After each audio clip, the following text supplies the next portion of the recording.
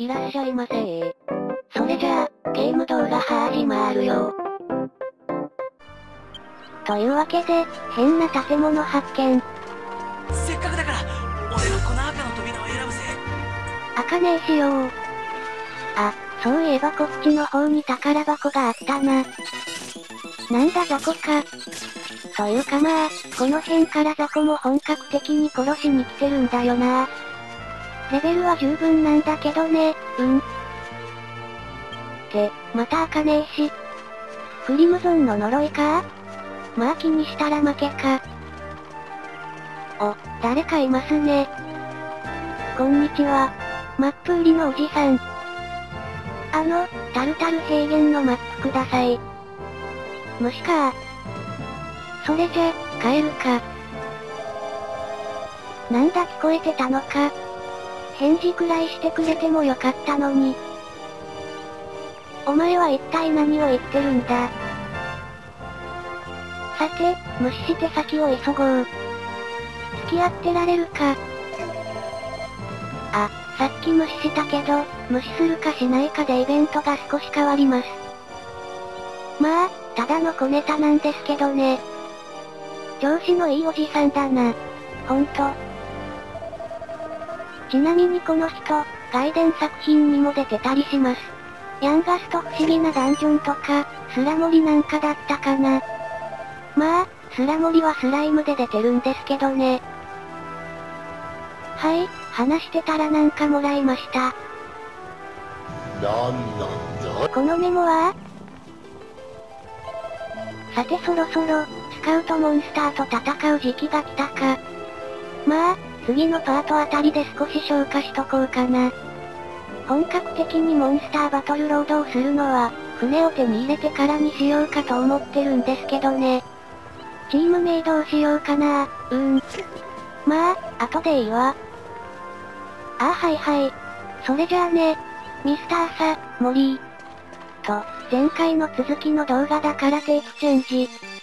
そして倍速。あ、神田田さん？神田田さんじゃないか。あ、他人の空にってやつですか？そうですか。まあ、さすがに敵が、脳筋パーティーだけあって1ダメじゃなくなったなそろそろ呪文も解禁しないと。まあ、とりあえず急ぎますか。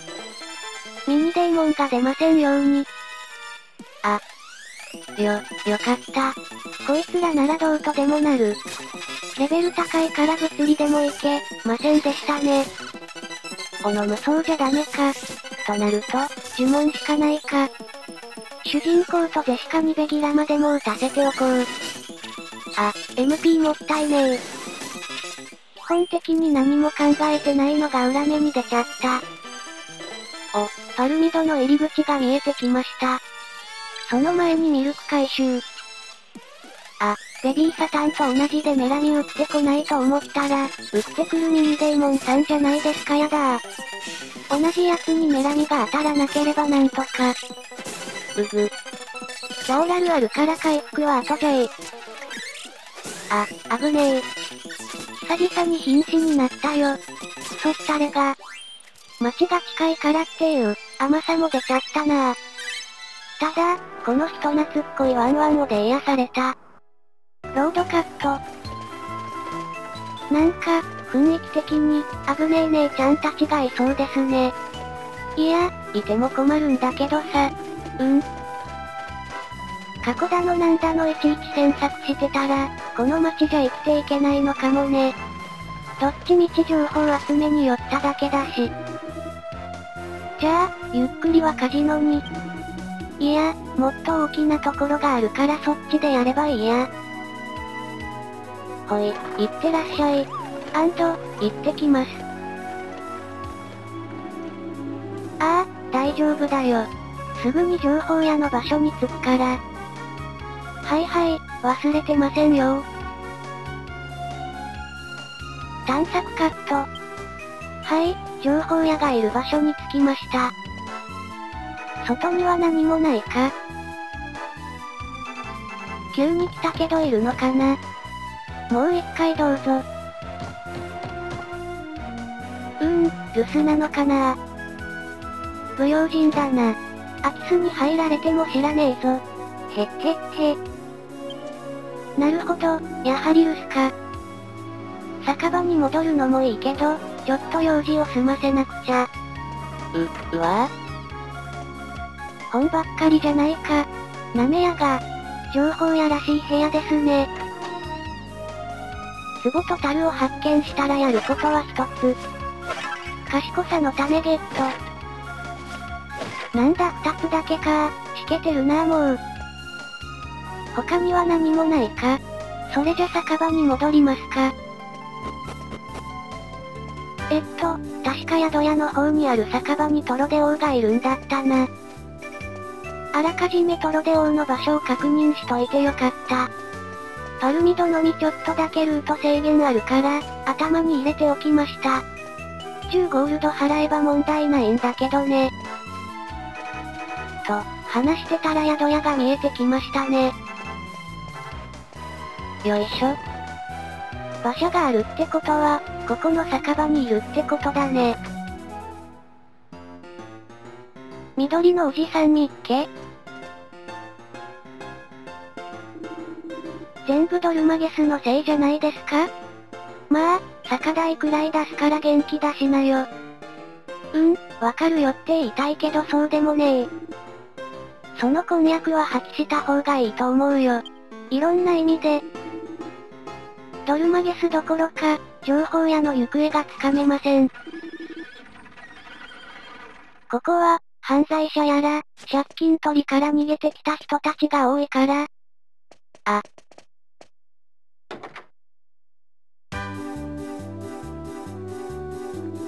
あんない馬ほっとくわけないよな。でも、すぐ見つかるさ。うっかり八兵衛、ならぬ、うっかりアンガス。いろいろ聞き回ってそのことは知ってた。ど、どす黒いオーラが。姫様もさらわれる前に、蹴ってやればいいものを。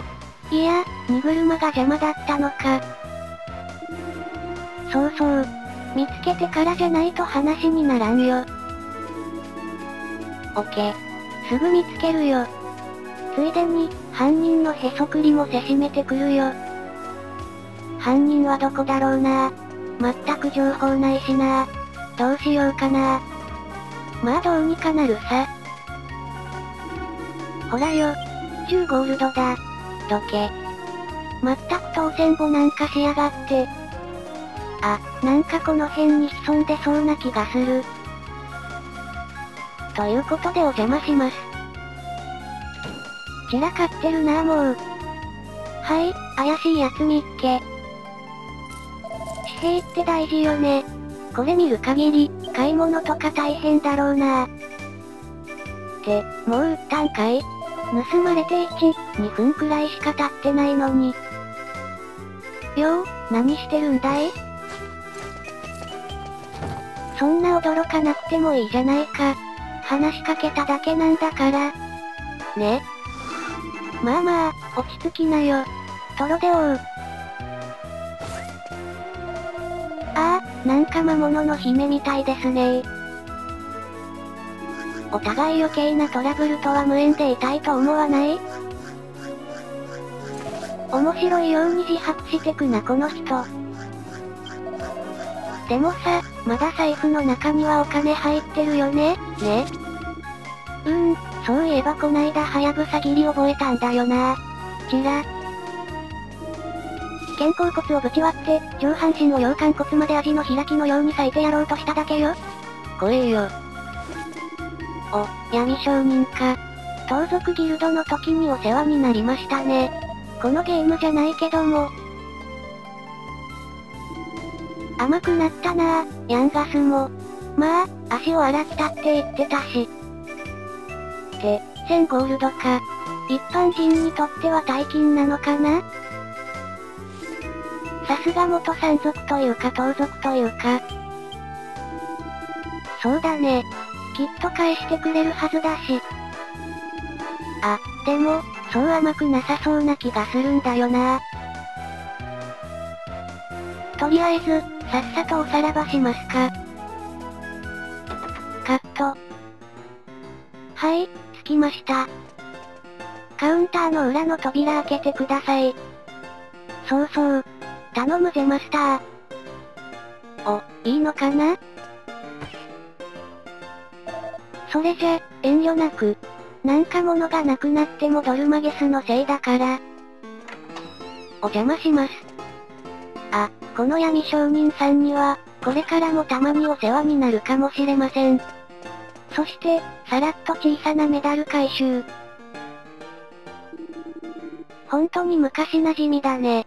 疑ってたわけじゃないけども。なんか、いつの間にか兄貴になってたんですよ。最近というか、ついさっきというか。正確にはトロデオウのなんだけど、あれ合ってるよねもっと言うと乗り物というかなんというか。とりあえず、ヤンガス落ち着けって言いたかったんだわさ。油断は命取りだもんね。うん。お、マジでか。返してもらえますかねメタルスライム系も驚きの速さである。ものの5分で売れるとは。そらびっくりしますよ。そんな簡単に取り返せれば苦労しないさ。ゲルダ、ねえ。まあ、なんとかなるさ。なんだ、知り合いか？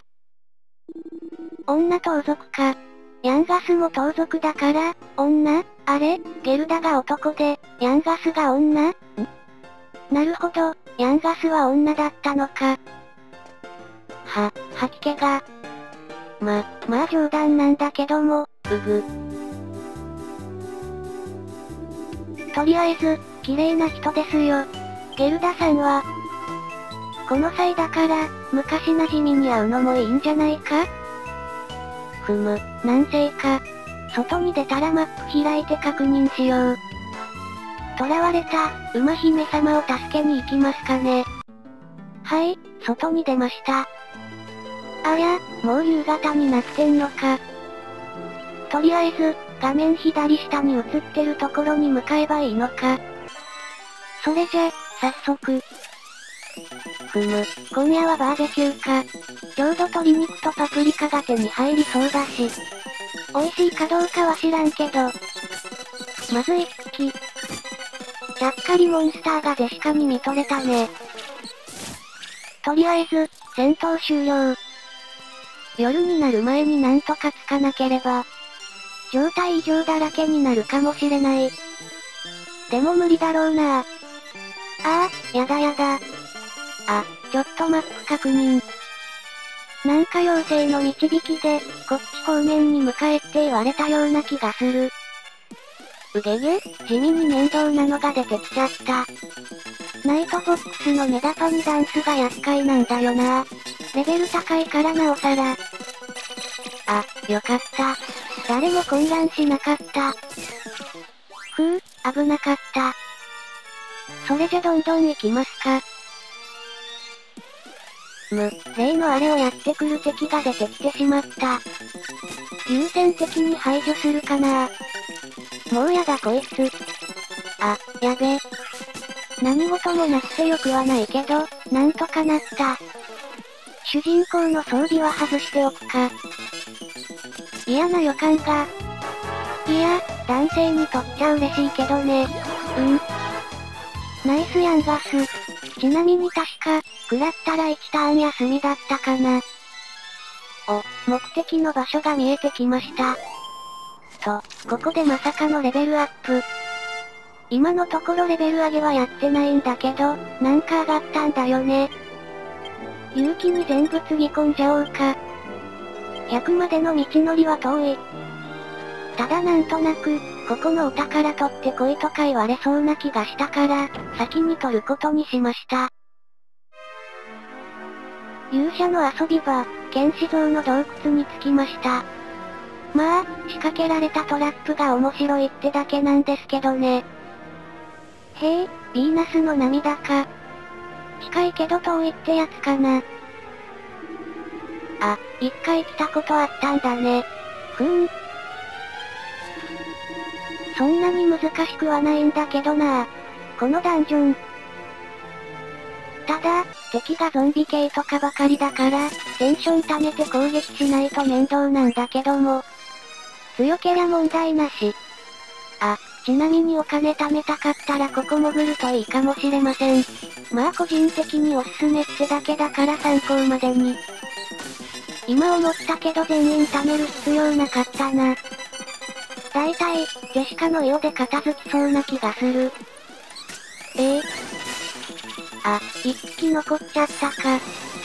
まあいいや。あ、ちゃっかりジェシカの衣装が変わってます。ちなみに、ジェシカと主人公のみ一部の装備で見た目が変わります。と、まあ、とりあえずそんなところかな。宝箱見つけ。方向音痴だから、地図ないと不安なんだ。うお、毒沼にまた入るのはきつい。おら、有り金全部だしな。一匹110ゴールドは今の時点では美味しい。高速レベルアップ。えっと、とりあえず弓上げればいいや。急がないと尺がやばい。あ、そうそう。この辺からボスが強くなってきて戦闘が長引くから、そろそろ倍速になるかもしれません。今回は等速ですが、次のボスから倍速になります、多分。以上報告でした。実況に戻ります。えっと、どっちだっけ、間違えちゃった。おう言ってばよ。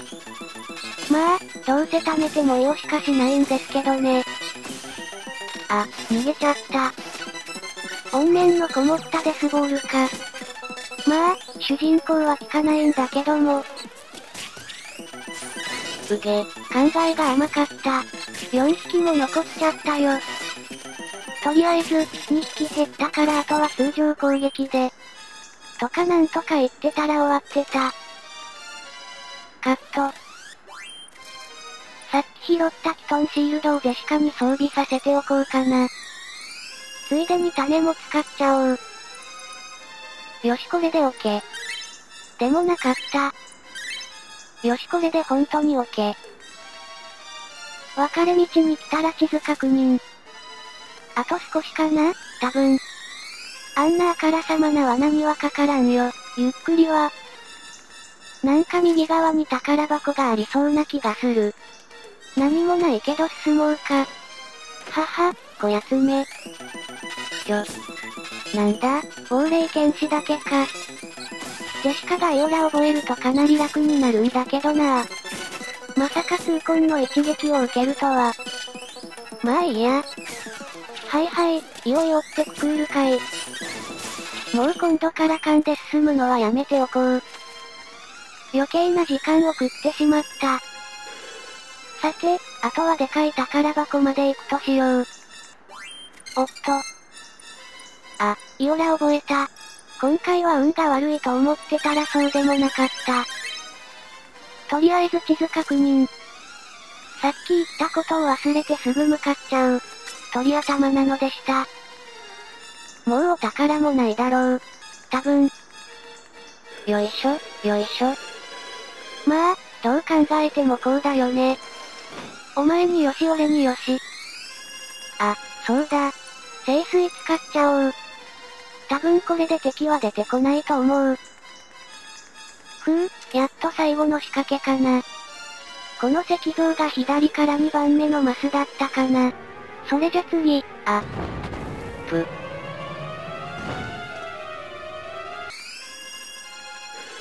この石像は上から2番目だよ。ネタでやるならいいけど、さっきのボンミスは凹む。ちなみに、ここの右側の石像で全回復できます。覚えておくといいかもしれません。ちょっと頭痛がするけどまだゴミを片付けるくらいの力は残っている。お宝ゲット。そういえば石像に最後の試練がどうとか書いてあったな。はい、トラップボックス戦です。こいつの HP はだいたい1100くらいで、ヒャダルコと痛恨の一撃もしてきます。そもそも、攻撃力が高いのでスクルトをかけておくといいかもしれません。あとはピオリムをかけてマジックバリアは、意味あるのかなあとは、たまにラリ法なんかも聞くので暇になったらかけたりしてみるといいかもしれませんね。以上解説でした。はい、どうも。とりあえず、仲間の HP が90くらいになったらホイミもかけるとより安全に戦えると思います。スクルとかけといてよかった。というか、ボス戦で初めて補助呪文使ったような気がする。大事を取ってもう一回スクルとかけておくか。ジェシカはバイキルトでいいかな。まあ、ヤンガスでもよかったような気がするけど、なんとなく。あ、このレベルだとヤンガス以外は先制できるのかな。やってこないだろうと鷹をくくったらやってきやがったか。うお、結構食らうな。よし、主人公とヤンガスはこのまま試させておくか。クールはどうしようかな。うーん、念のためにジェシカにホイミかけておくか。ジェシカはとりあえずマジックバリアで。あ、なんか、ザバン戦以来戦闘中ホイミかけてなかったような。それだけきつくなってきたってことか。もう一回貯めてもいいんだけど、失敗するとターン消費しちゃうから攻撃に移るか。あ、でもなんかこいつってメダパにやってきたような。い、いや、主人公が早ければなんとか。でも、怖いからヤンガスも攻撃に移らせよう。クールはラリホアローでいいや。ジェシカはそういえばそういううち覚えてるのか。うーん、貯めるでいいか。あ、私も貯めちゃった。眠ればも受け。はい。あ、どれくらい与えられるんだろう。570か。嘆きの亡霊を一発で倒せるくらいか。120くらいオーバーで。バイキルトのおかげもあるけど。って、マジックバリアじゃなくて、ピオリムかけておけばよかった。あ、テンション20だとこれくらいか。メダパニが怖いとか言ってたけど、そんなこと言ってたら終わらないから貯めるか。とりあえず、ククールさんは自分でホイミをかけてもらおう。テンション溜めちゃったから、そういううちでもさせるか。よしオッケー。っていうか、そろそろ終わるかな？はいはいもうちょっと貯めてから打てばよかったかな。お、珍しくヤンガスが先制したな。あとはここを乗り切ればなんとか。あ。いや、ジェシカでよかったかも。うー、どうしよう。はやぶさ切りにするか、いや、貯めておくか。クールは今のところやることはラリホーアローと回復くらいかな。ジェシカは武器だけ外して、放置でいいや。間違えて戻ったのでカット。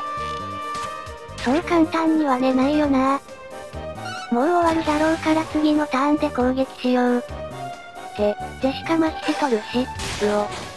あ、こんなに食らうのか。怖いなもう。それじゃ、攻撃に移りますかね。ゆっくりの間だと、はやぶさ切りで終わるだろうから、ジェシカ放置で、ククールは念のため回復。ヤンガスは適当で。よし、いい感じ。まだ全回復じゃないっていうね。一発だけ空振りしちゃった。まあ、死人が出なくてよかったかな。とりあえず、今回はこの辺で終わります。最後までご視聴ありがとうございました。あ、次回の冒頭で久々に戦いの記録を見せしますね。ハードディスクが軽くなったよ。やったねゆっくり。動画撮ったりしてるとよくあるらしいし、復元ソフト使ってもダメだったから、気持ちを切り替えて前回のあらすじ。ヴィーナスの涙を撮ってきました。以上。ガキの使いやあらへんで。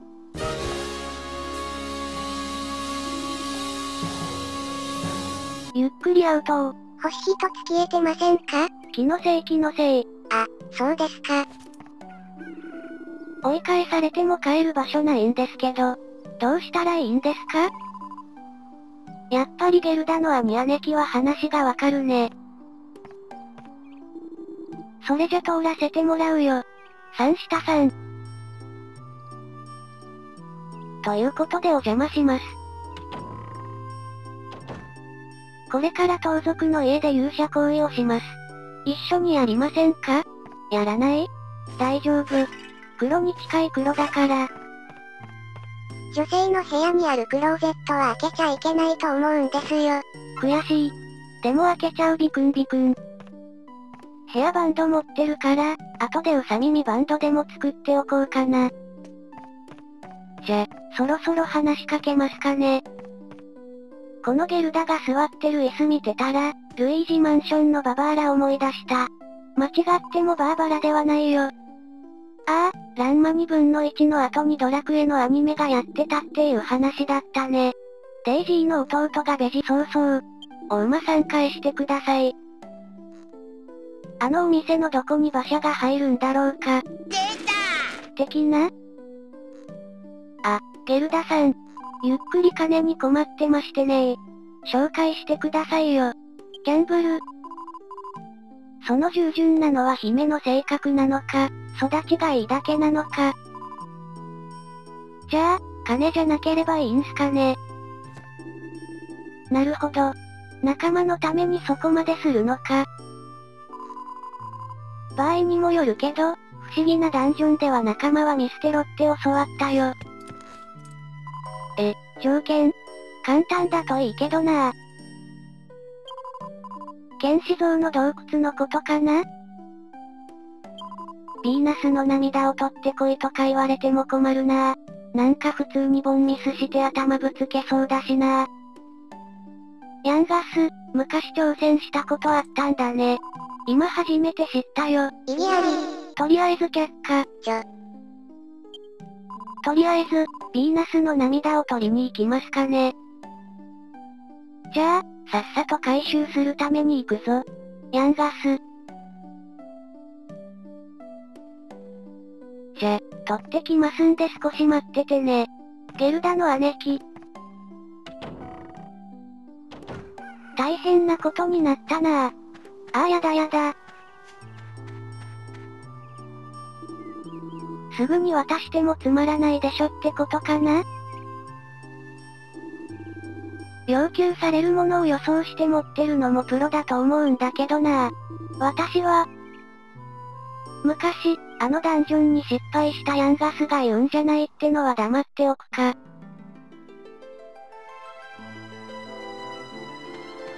はい、ヴィーナスの涙をゲットしたから戻ります。という口実を作りました。出かけて1分で戻ってくるっていう早技。ただいま、ゲルダ。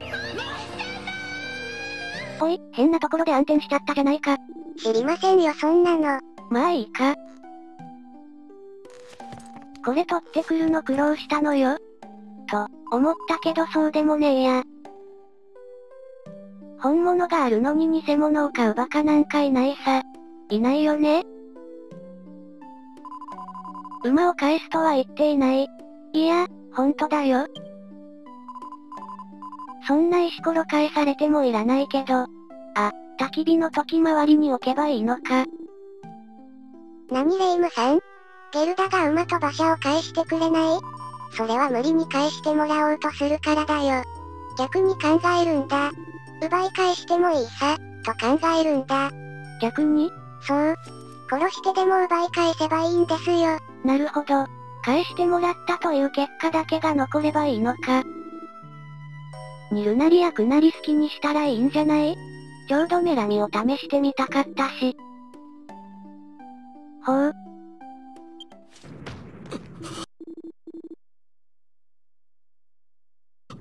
もうダメだおしまいだまあ、さっきのがやりたかっただけなんですけども。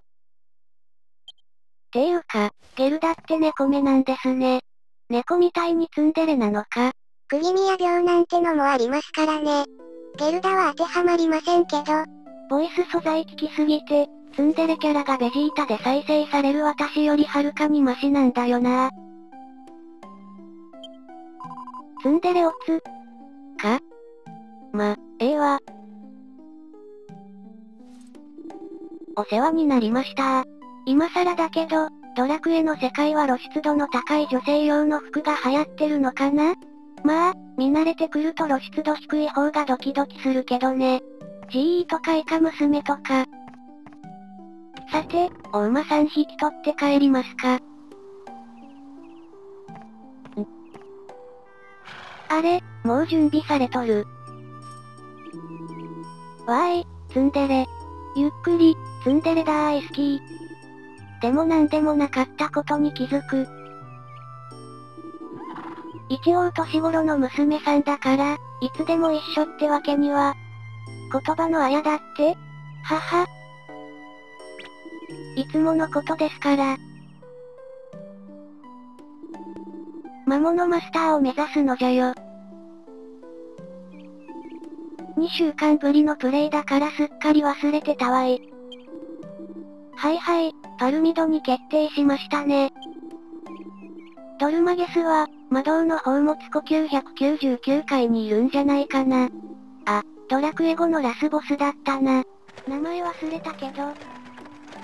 あ、あかん。64の試練やりすぎて、ローグライク系のゲームの話ばかりしちゃう。暇吉、剣豪、う、頭が。はい、パルミドに行く前にちょっと一仕事してから行くよ。まあ、モリーのメモを消化するだけなんですけど。夫敵さんが、ダイジェストなんですけども。というか、小ネタ。その程度の大きさでジェシカに勝てると思っているのか。まあ、逆パターンもあるんだけどね。こっち方面に確かスカウトモンスターがいたような。あ、見たくない人は、11分くらいまで飛ばすとイベントに入ります。あ、なんか久々に高速でフィールド移動シーンを見せるような。あ、いましたね。どこへ行こうというのかね。はい、始まりました。スカウトモンスター戦です。一応解説をすると、こっちのレベルに合わせてモンスターも強くなっていくよ。あと、こいつらを倒すと落とす、モンって、まだ喋ってる途中なんですけどおおえっと、モンスター効果にもちゃんと強さによって色が違うよ。こいつはどうだからその辺の雑魚より少し強いくらいかな。あとは、さっきみたいに倒せば仲間になるよ。テリーでいう仲間になるボスみたいに必ず。あ、モンスター効果は売ると結構高いから、お金にもなるね。ただ、非売品だからそこのところ注意かな。もし初めてやるんであれば、トラペッタ付近にいるバトルレックスに注意だよ。初見の時ぶっ殺された人もいるんじゃないかなというか、ぶっ殺された。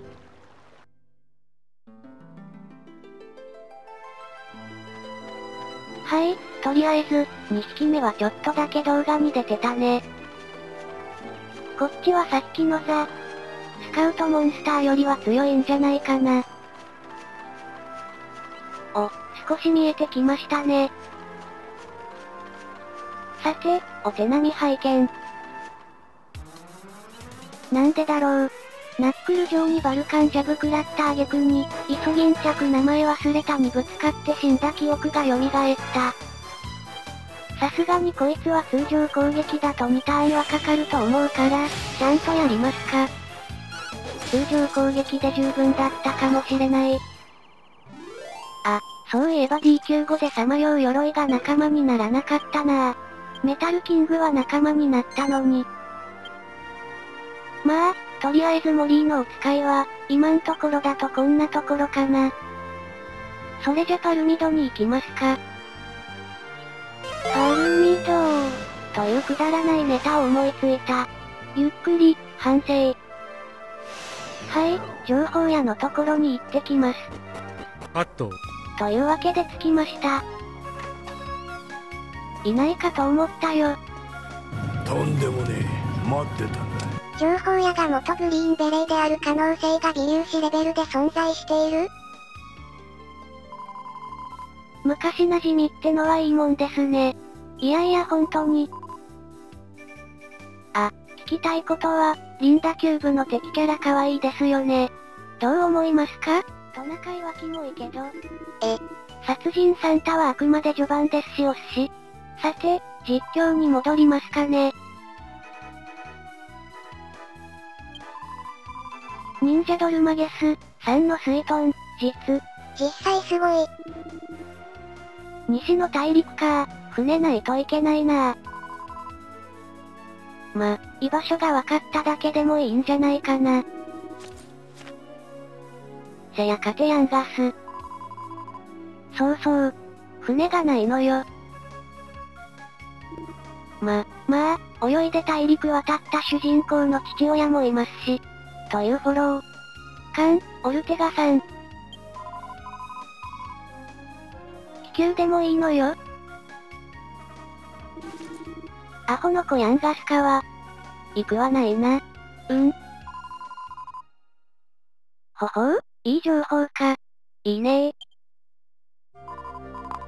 ボルトリンクから西ね。オーケー。どうしてもこうしても、そこに船があるから。魔法の船でもタイタニック号でも何でもいいさ。乗れれば。なんともタイミングのいい。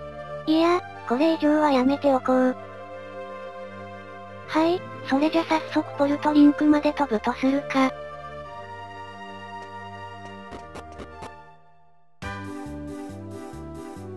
ルーラ。もう2ヶ月くらい行ってないな。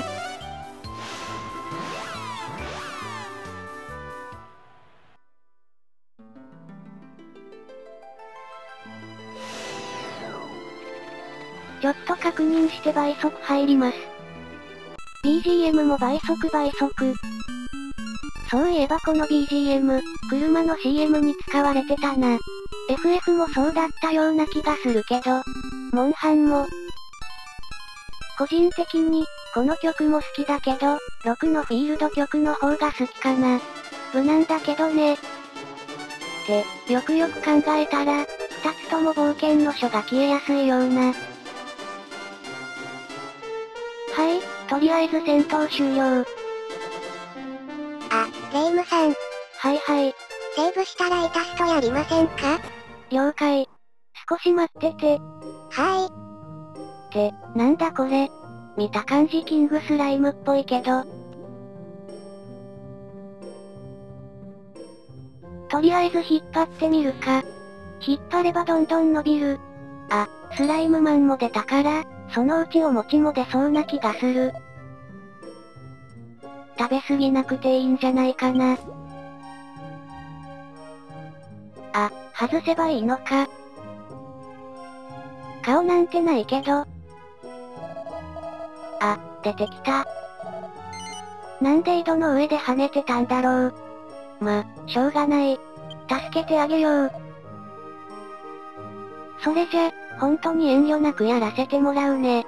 キングスライムの王冠に触る機会なんてないし。あ、なんかあっさり抜けた。スライムプラス10にするとキングスライムになるからね。って、8匹しかいない。ちなみにこの冠オールと、6000ゴールドします。非売品だけど。じゃあ、そろそろセーブしてやめますかね。その前に、船があるか確認。どっちにしろ、次で近くまで行くから、見なくてもいいんだけども。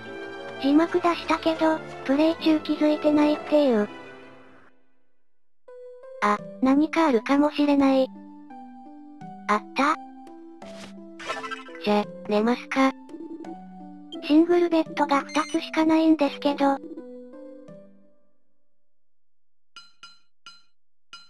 それでは、今回はこの辺で終わりたいと思います。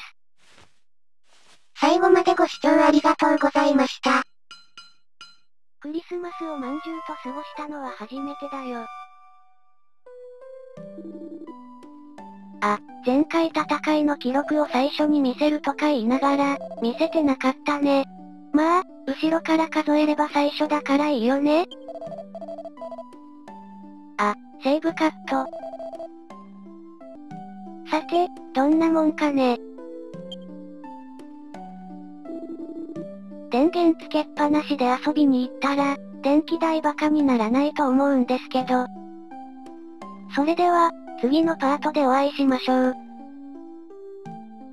とりあえず、前回のあらすじ。船を探して3000里。以上。ちょっとカット。で、倍速。ドラクエではないけども、この曲でお送りします。って、いきなり爆弾岩か。メガンテやらないでくれてありがとう。マダンテと間違えて、メガンテ唱えた人っていないよねすぐ近くにいるけど何か？え窓ハンドか。物を盗んだり、アイテムを投げてきたり。しません。あと、間違ってもムジュラの仮面に出てくる、トイレから手を出してるやつじゃないよ。まあ、どうでもいい話だけどね。地味に面倒なやつが出てきちゃったな不思議な踊りで、主にジェシカの MP を持っていかれなければいいけど。あ、主人公か。せめてヤンバスにして欲しかったけど。まあ、いいか。で、爆弾岩の時もそうだけど、今回結構ドロップ品多いな。あ、着きました。これは、100人乗っても大丈夫な船じゃないか。ただ、溺れても知らんけど。掃除大変だろうなこれ。パルミドで聞いた古代の船じゃぞ、間違いない。キリ飛んで跳ねるほど嬉しいのかな主人公の方が落ち着いてるじゃないか。あ、なるほど。王様がこんなんだからか。一回解体して、海の上まで運んでから組み立てればいいんじゃない？あ、でも面倒だな。お？四角ボタン押せばマップなんか出るさ。はいはい。それで？ああ、割と後ろに近いところに、船が放置プレイされてたんだね。つまり、お城に向かえということですね。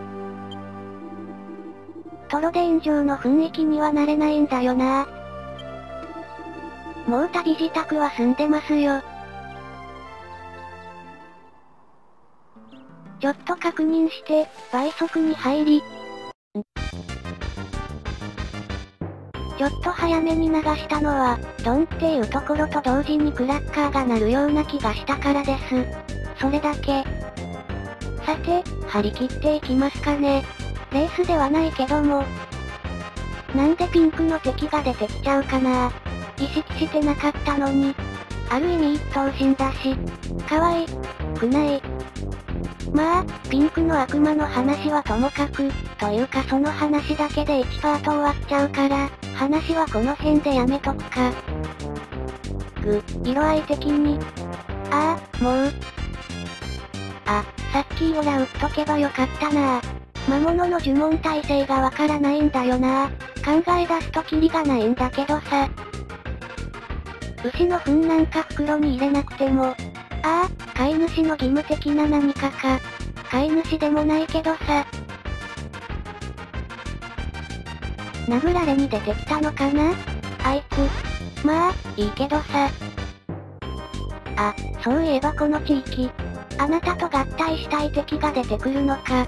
バベルボブルは無駄にタフだから嫌いなんだよなまあ、出てきてもとりあえず一匹ぶっ殺、倒せばいいんだけども。ちなみにさっきスライムが出てきていたけど、特に強化されてません。トラペッタ付近にいるのと変わらないよ。悲しいね。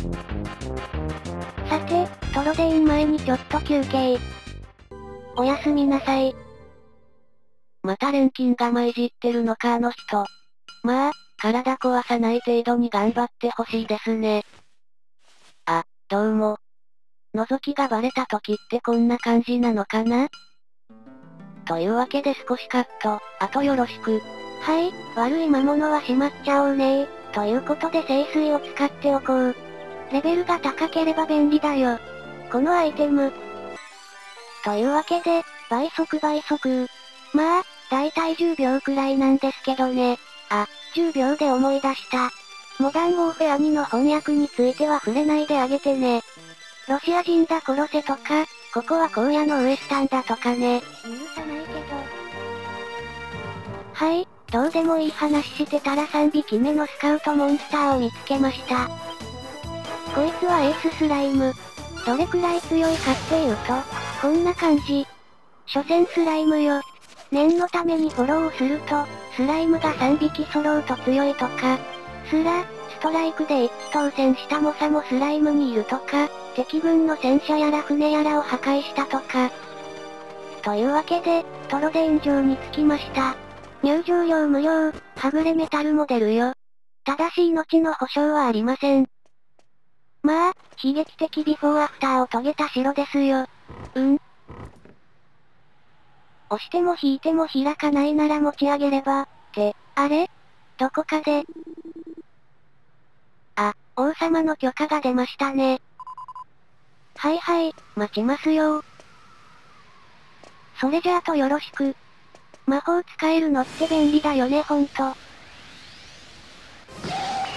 魔法？だよね？ね？いや、そんなこと言ったら、炎の匂い染みついてむせ、ごほ。ジェシカの MP なくなっても困っちゃうし。苦手とか言いながら、レベル上げによく来てたんですけどね。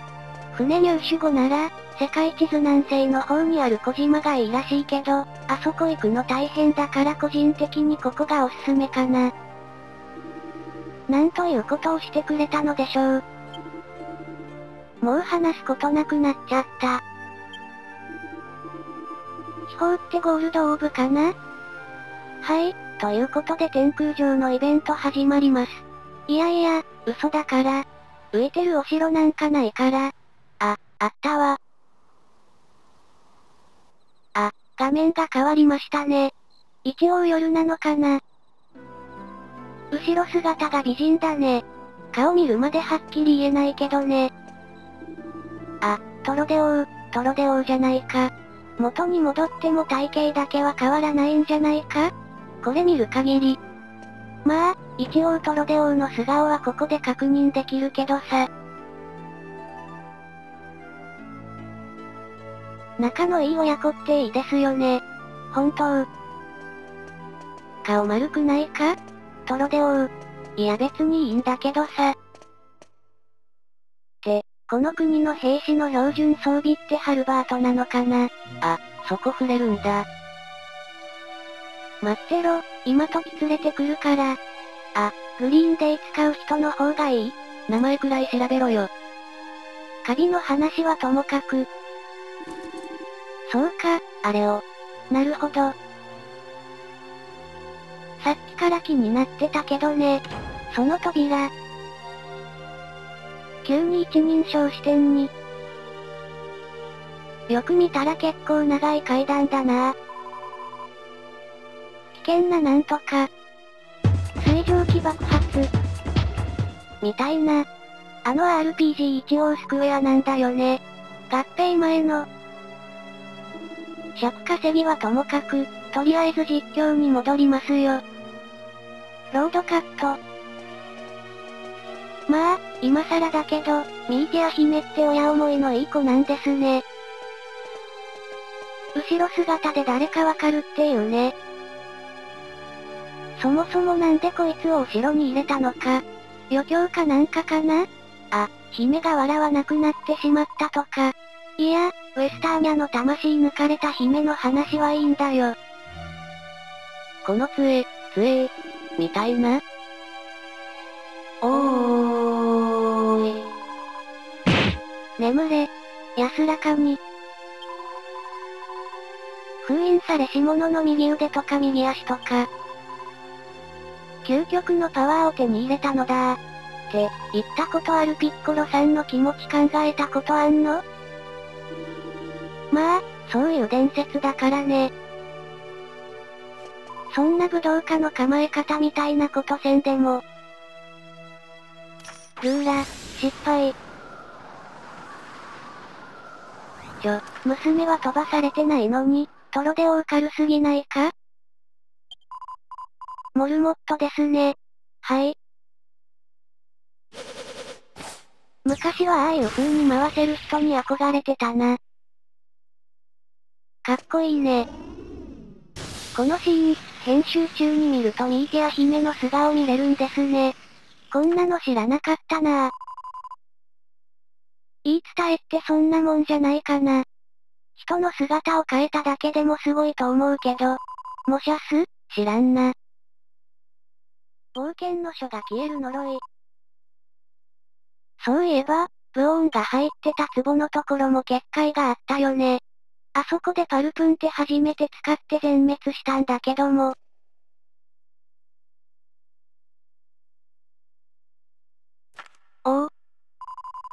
嫌だと言ったら、どうしたんだろうね。あたふたしても全く可愛くはないけど。溢れ出てきても知らんぞ。どうした？頭のお医者さん呼びますか？おおおおおおおお城の触手じゃなくてイバラプレイ。どこに需要あるのかしらね。ああ、お城を擬人化したゲームがあったわ。どこに向かって進んでるんだろうね。ほんと。いや、うん。好きにするといいさ。やめろ死にたくない死にたくない今なんか平山さんがいたような。あ、そうそう。一応この人たち生きてはいるよ。カーズ状態になっただけで。賢者タイム中につき、しばらくお待ちください。ダメだこいつ。早くなんとかしないと。あ、なんとかするために冒険してたんだった。この逃げ足の速さ。プライスレス。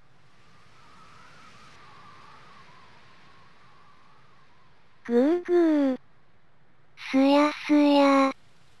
むにゃむにゃ。ネタ切れた。は、なんだ夢か。夢だけど。夢じゃなかったま、そんなことはどうでもいいさ。完全に一致。逆に聞きたいくらいなんですけどね。ポーカーは任せたまえ。いや、遊びでしかやったことないけども。ちょっと昔話を。お城で迷子になりそうな予感しかしない？じゃ、行きますかね。緑のおっさん。すごく遠回りするけどね。図書室行くのに。迷子にならないように気をつけますよ。それじゃ倍速。あ、清水使ってたの完全に忘れてたわ。ええー、ここでの私の作戦名。ジェシカのみガンガン行こうぜ。MP 切れても知らないけどね。あ、なんか色々スルーしそうだから、見えないところで回収しときますね。魔法の鍵だけは忘れないようにしないと。で、トロデン上で出てくるモンスターほとんど出てきちゃった。一応、ガルーダと爆弾岩も出てくるけど、フィールドで見せたから、あと2体だけだね。ここの敵は、あとはヤンガスの攻撃でメタルハンターは終わり。あ、また。それ痛いから。平均36とか、もう。薬草いっぱい持ってても呪文使っちゃうんだよね。クール用の装備手に入れたけど、弓しかあげてないんだ。あ、間違えた。結局入ってないのか。そうか。君はそういうやつだったんだな。えっと、確かこっちの方で合ってるはずなんだけど。部屋間違えた。あの階段を登れば確かイベント入ったかな。の、前に、姫の部屋探索。じゃあ、ゆっくりが飛行。ごめん、手がなかったわ。つ、かもうぜ。ドラゴンボール。いや、戻す役目の人があんたの後ろにいるよ。さて、なんかないかなあ。見なかったことにしよう。とりあえず、お前のターンねえから、いて。こ、この野郎。あ、はぐれメタルは多分出ないだろうし、清水使おうっと。結界の周りで茨が止まってるもんね。ただし、守るのは結界の外限定。まあ、中からは想定していなかったんだろう。多分。じゃ、降りますか。あれ、どこ行けば図書室着いたっけかな。思い出した。確かこっち行って外出れば。あ、階層で勇者がいたところかな？返事がない。ただの屍、じゃない。よし、完全に道を思い出したけど、宝の場所までは思い出してないぜ。確かこっちでイベントが。その言葉そっくりあんたに返すぜ。今はこんなことをしている場合ではない。って、やりたかったのさ。トロデオウも人のこと言えないと思うけど。えっと、次はこっちだね。心配だから確認確認。思ったんだけど、王様の前で城の備品を壊す主人公の度胸はすごいと思う。あ、着きました。ここもちゃんと開けておかないと。読める本も少しはあるかな。船に関する本棚が倒れてたら調べられないけどね。ゲーム的に。そうだね。勇者が通ると荒れちゃうね。は？この中から船に関する本を探せと？ちょっと手伝ってくださいよ。は？ぁ、げんなりするぜ。どこかな？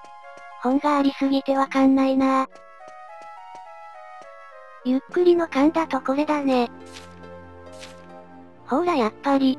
まあ、予習しただけなんですけどね。あ、見つけましたよトロデオウ。じっくり読んでいってね。こういう文献って長いのよね。休憩挟ませてくれ。もう暗くなってきたのか。早いな。昔はお前のような冒険者だったが、顔面に矢を受けてしまってな。どうしたの？トロデさん。なんか月見てたらミャースのパーティー思い出した。感傷的になるのかしら。スラ、ストライク。いや、お餅かな？あ、食べすぎて太らないようにね。なんだかんだと聞かれたら、答えてあげるがよの情け。今のやつは知らないけどね。って、眩し。あ、まさかのヘチマ売り3歳登場。ていうか、留守だったらどうしようか。まあいいや。ということでお邪魔します。あれ？いない？あ、いたいた。ようこそ、くそったれな職場へ。はいどうも。いや、あれは違う人の願いなんじゃないかな。荒野にある木材を動かしたいんですよね。浮かばねえ船はただの木材。だからね。一体いくつなんだろう。この人。いや、いくつでも別にいいけど。おお、さすが人外。なるほど、アスカンタ城でのあれと同じ要領か。あ、ごめん。先に行っちゃったよそれ。ほうほう。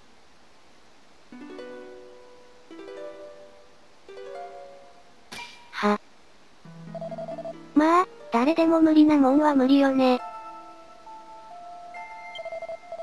探しに行くフラグが、楽器がある場所知ってれば、簡単に見つかるね。知ってるからいいけど。背後霊ですか？もしそうなら、ちょっとお払いしてきます。あ、背後霊でなくてよかった。とりあえず、今回はこの辺で終わりたいと思います。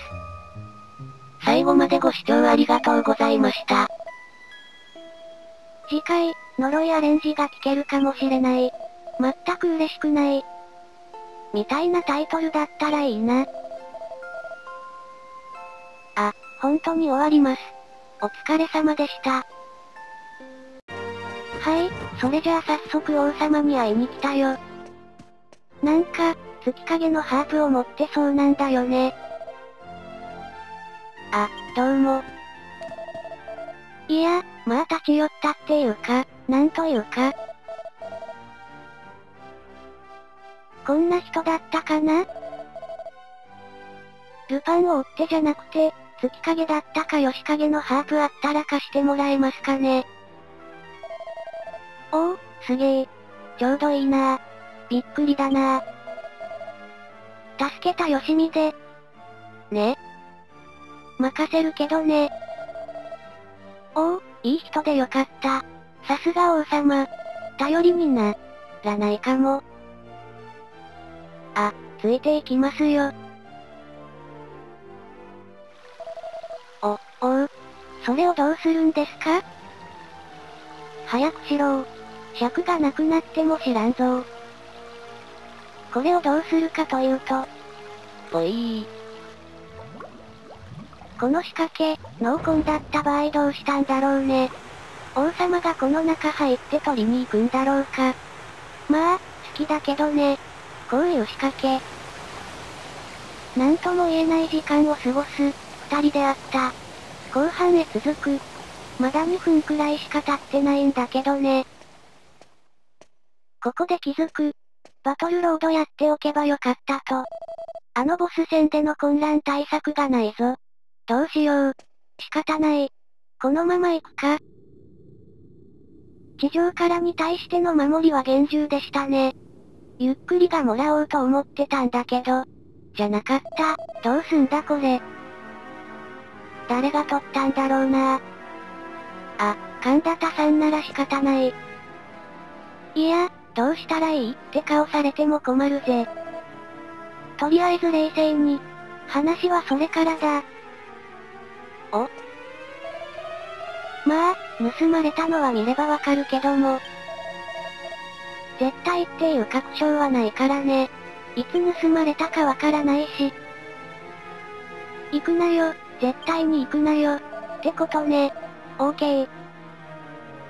それもフラグかい？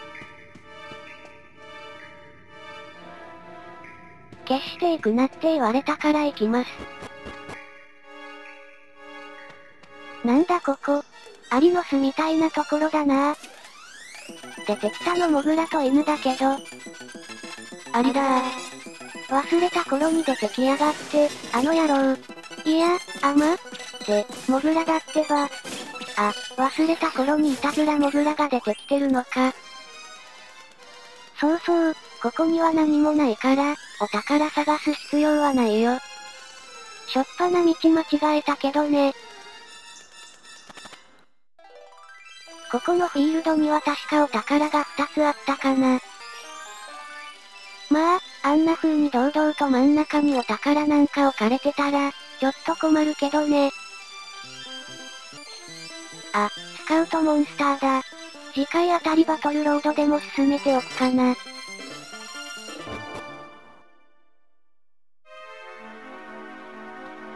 このダンジョンの名前はモグラの味と、入り組んでいるように見えるけど、だいたいまっすぐ進んでいれば迷わないかな。あと、ここで気をつけるべき敵は、スペクテッド。魔法カンタを唱えてくるから注意だね。そうそう。あの目玉親父みたいなやつ。個人的なあれだけど、回避が高いような気がするんだよね。見えないところでだけど、5回連続で攻撃を開始された時はさすがにイラッとしたね。取っておけばよかった。なんだ岩塩か。薬草の天ぷらを作るときに、美味しいのか？そういえば、松明ってどこで手に入れたんだろうね。あ、あれか。お札をヒノキの棒に巻きつけて、どうだ明るくなったろう？みたいな。と、宝箱見っけ。このアジトのボスは楽器の扱いが下手なんだろうか。それとも歌が下手なんだろうか。いや、カービィとかジャイアンよりマシなはずよしそろそろボス戦か。って、道間違ってるし。危うくポルナレフ状態になるところだった。お宝も全部取ったし、あとはボスだけだね。ん？なんかでかいのがいるな。なんでこんなに薬草買ったんだろう。魔法の聖水もすごい後で買えるから、使っちゃうか。音符が割れてますけど。下手の横好きとはよく言ったもんだな。まあ、やってれば多少は上手くなるはずなんだけどね。ご愁傷様です。あ、ちなみに前にカービィやっててドラクエ8をやろうと思ったきっかけがこいつだよ。どうでもいいね。自分で上手いと思ってるんだろうなこいつ。俺はジャイアン、ガキ大将。みたいなね。聞かせられる身にもなってやってくれ。ちなみに右から2番目のやつ。立ったまま気絶してるよ。器用だね。あかん、部下の目が光を失ってるような気がする。あ、間違えちった。えへへ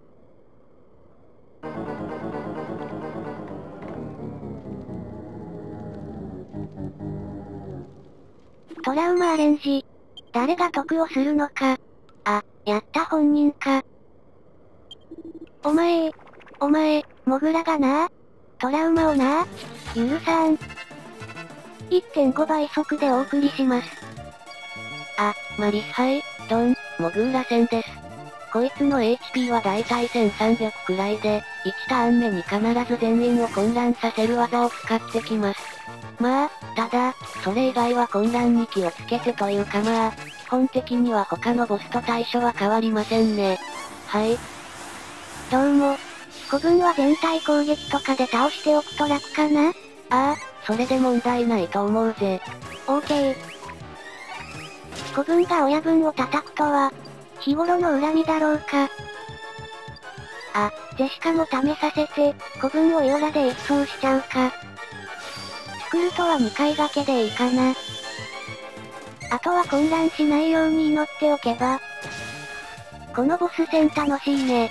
こっちが混乱しなければ。ほう、敵もこっちと同じ戦法というわけか。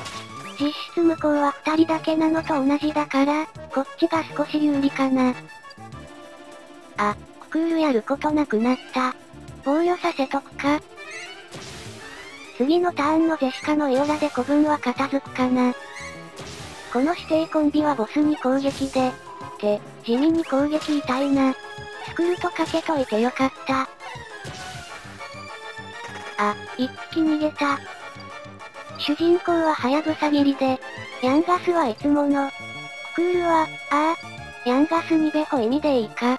ちょっと弓スキル足らないんだよね。ジェシカはヨラで。これで古文は一掃したから、あとは親分か。まあ、テンション100まで貯めてもいいんだけど、無駄にターン消費した時がなさて、次またテンション溜め終わって攻撃で終わるかなこの攻撃が一番怖い。ね。平均46ですよ。ジェシカとクールの HP が100超えててよかった。あ、主人公のレベルをちゃっかり上げて、ベホマ覚えました。まあ、今のところ使わないけど。あ、クールも試させておけばよかったのか。ボス体型が似てるからってヤンガスばかり狙わなくていいんですよ。まあ、ジェシカとククールは防御で支援に回せば安定するんだけど、レベル高いからね。貯めたのはいいけどクールどうしよう。あ、仲間呼ばれちゃった。一匹だしほっとけばいいか。とりあえず、このターンはクール以外貯めればいいか。あまり意味ないけど、MP 回復。あ、5回復した。よし、それじゃあもう攻撃させますかね。あ、やべえ。なんだ？クールだけか。小便は済ませたか？神様にお祈りは？部屋の隅でガタガタ震えて命乞いする心の準備は OK? かっこよく決めようと思ったらコマンドミスしたでござる。とりあえず、ヤンガスあたりの攻撃で終わるだろうからいいか。よし、クソ野郎。オンブルルラギったんですか俺はクシャムをむっ殺す。というか、むっ殺した。よくもまあ、あの足で体を支えられたもんだよ。かゆうま。なんかヒーローショーっぽい感じ。なんやかんや部下に慕われてるのね。殴られてたけど。悪いね。暴力というか粛清だから。この後、オニオンに吸収されて養分にされるボスの姿が。いや、何も命までは取らんよ。すぐ人のもの盗むのは、人というかモグラのこと言えないから黙っとくか。まあ、ハープだけ返してもらえれば。お腹が邪魔なんだろうか。バトルロードで、理性のリングもらわなくてもなんとかなってよかった。それじゃ行きますか。あ、どうも。面白い奴らだったなぁ。それじゃ、イシュマウリのところまでキングクリムゾン。って、またジョジョネタ使っちった。アニメやるからね。しょうがないね。こっちの世界とここの世界の時間の概念でも違うんだろうか。どこのディルムット、オディナさんですか？まあいいや。楽器って言ってもハープですけどね。さ、どうぞ。この魔法、リモコンとか取るとき便利だよね。まあ、そんなことで MP なんか使いたくないけどさ。ほほう持つだけでわかるのか。ああ、もともとヘチマウリさんのものだったのね。ちょっと遠いけどどうします？あ、あの時と同じようにか。あ、もう着いた。船まで見えてるし。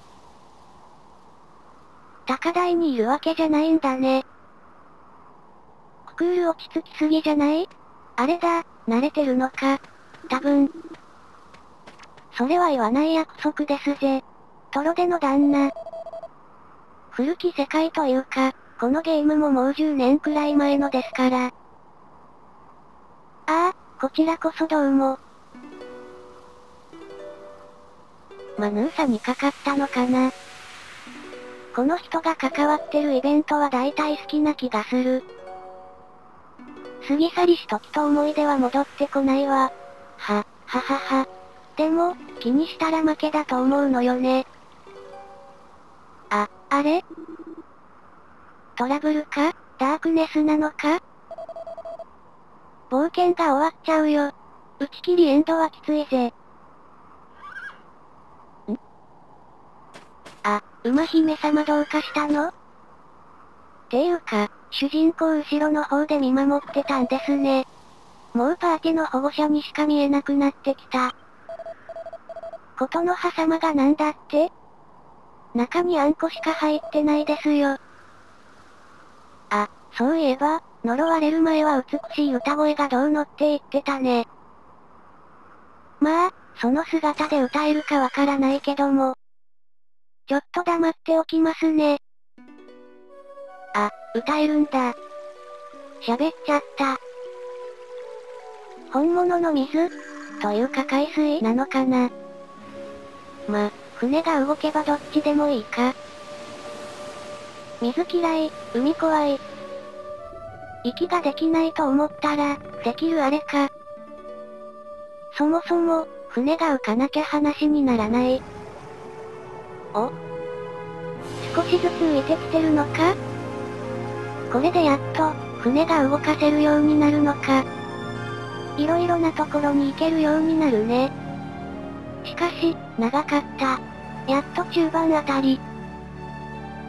お、浮いた。いや、当たり前っちゃ当たり前だけど。ん？船までの階段をつけてくれるとは、泳いでいけばいいとか言わないよ。思ったけど。って、ジェシカ、いつの間に着替えたのよ。踊り子の服の方が、濡れるかどうかわからないけど、よかったんじゃないかな。ま、まあ、いいさ。ああ、階段って馬車のためか。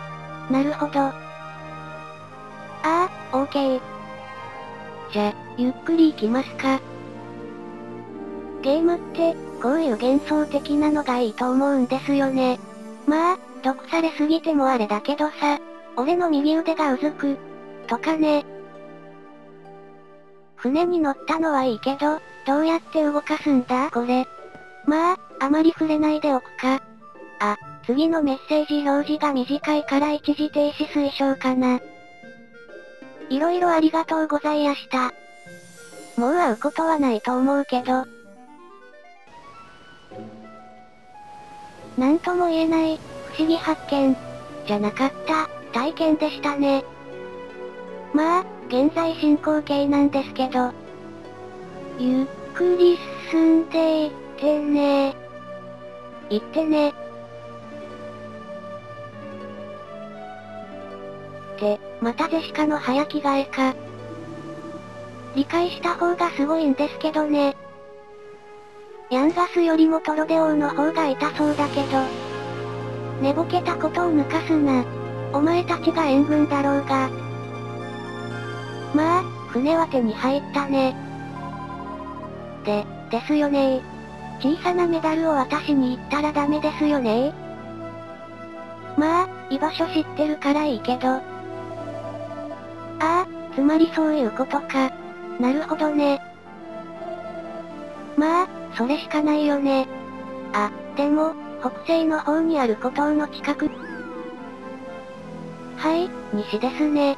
了解しました。これと共にどうぞ。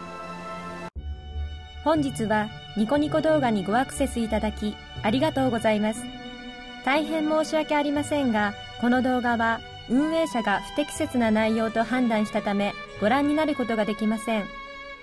またのごアクセスをお待ちしております。少しカット。さっきのは、ちょっとやってみたかった。反省はしていない。とりあえず今回は、メダル王の後ろに行って、メダル預けて終わりにしようかな。あ、移動はカットさせてね。お城の位置確認。あ、すぐそこかよ。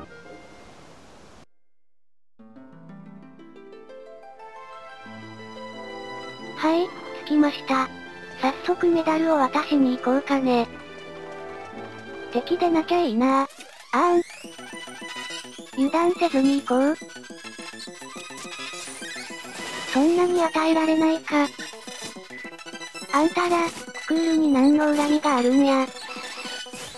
もう終わるだろうし、通常攻撃でいいか。あ、解毒しなきゃ。状態異常ほど雑体ものはないね。よしこれで OK。ほんと D 級シリーズのメダルを売って、変なところにお城建てるの好きよね。まあ、わかりやすいからいいけどさ。あ、お邪魔します。いきなり目の前にスライムが。王様病気なのか。ほうほう。あ、壺とカタルが見つかんないな最後の鍵もまだ持ってないし。あ、お店だ。カビぐらいしかいいもの売ってなかった。お、つぼみっけ。シリーズ恒例の、お城でメダル調達。あ、どっちから入ろう。左でいいや。イベント入ります。うーん。座って待ってるだけだからなその務め。苦労するのこっちなんだけど。あ、はい。金持ちの考えることはわからん。まあ、一応 D94 あたりからいたもんね。6だと封印されてるし。メダル型チョコもあるし。って、結構やってるな D9 シリーズ。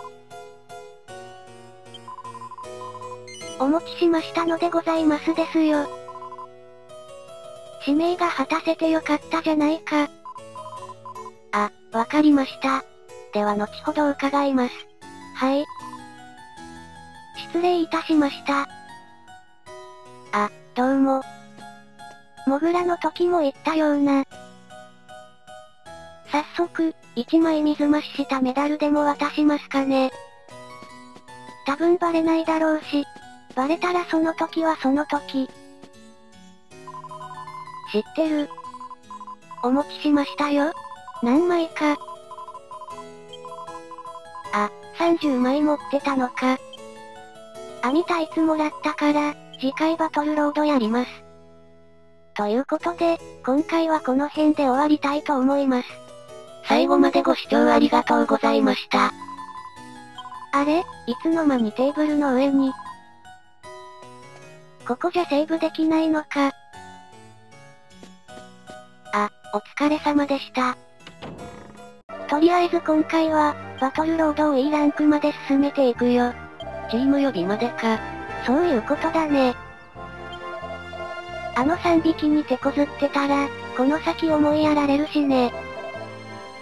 まだ裏側にメモが書けるかもしれない。まあいいけどさ。瞳の奥に眠る。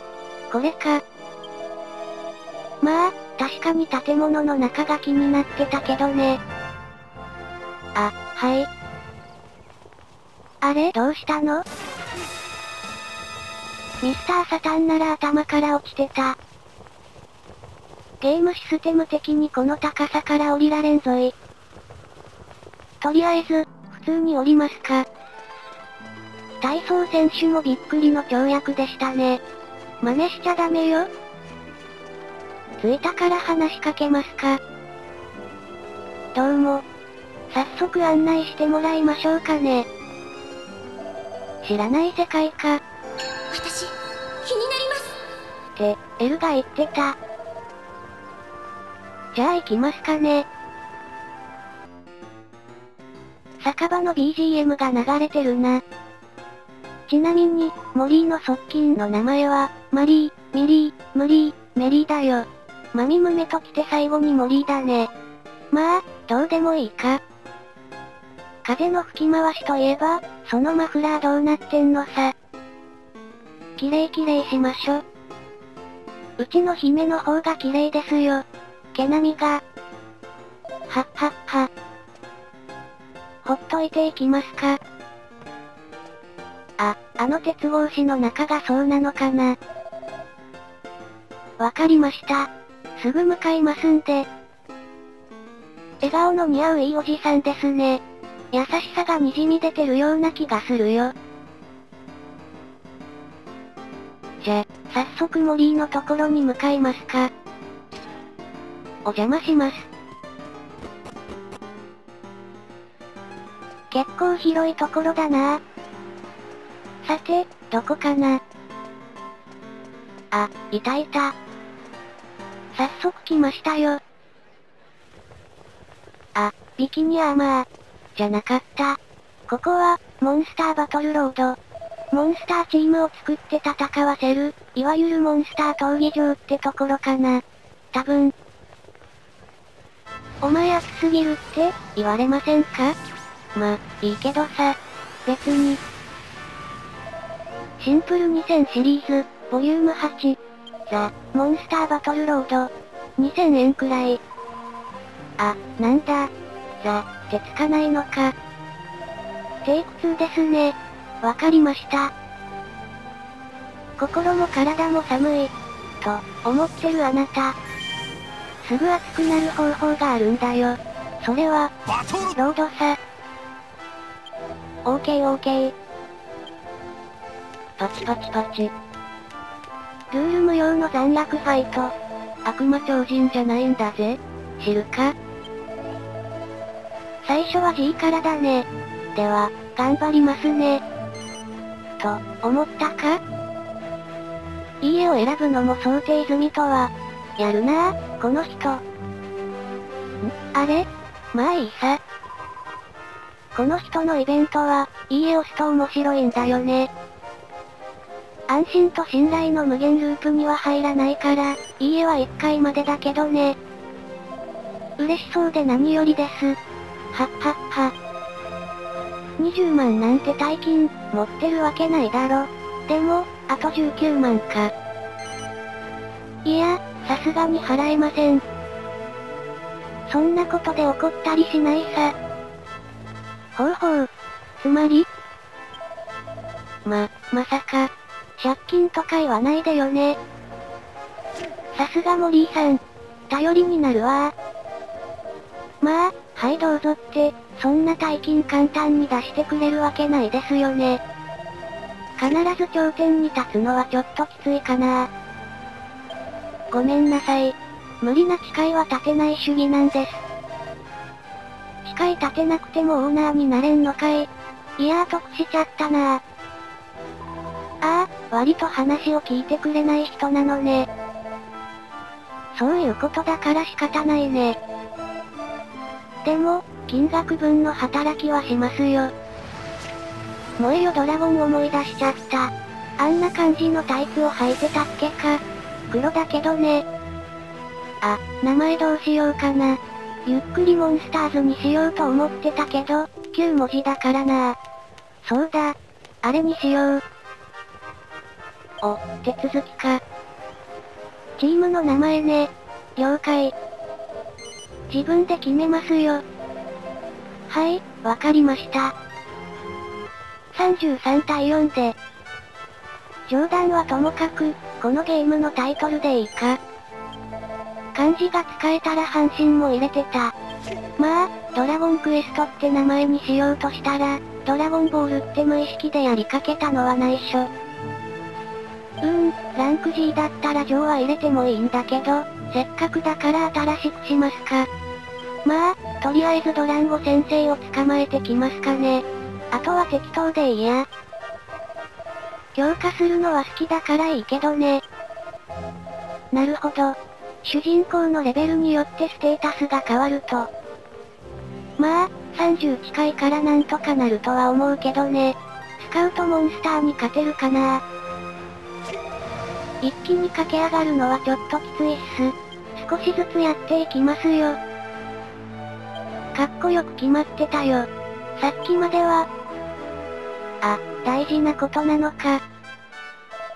ま、まあ、好きにするといいさ。うん。とりあえず、スカウトモンスターを探しに行きますんで。あ、なんかくれんの？ゆっくりはくれるっつうもんは、病気以外なら何でももらうかんなこらー。あ、鍵か。ちょっとカット。ルーラにも登録されてるし、楽でいいね。すぐに参加はきついけどね。中央ね。覚えました。すでに情報は仕入れてあるよ。いろいろ。ここの周りの人たちの話を聞く限り、自分でスカウトモンスターと戦う人って少ないんだよね。じゃあ、行ってきます。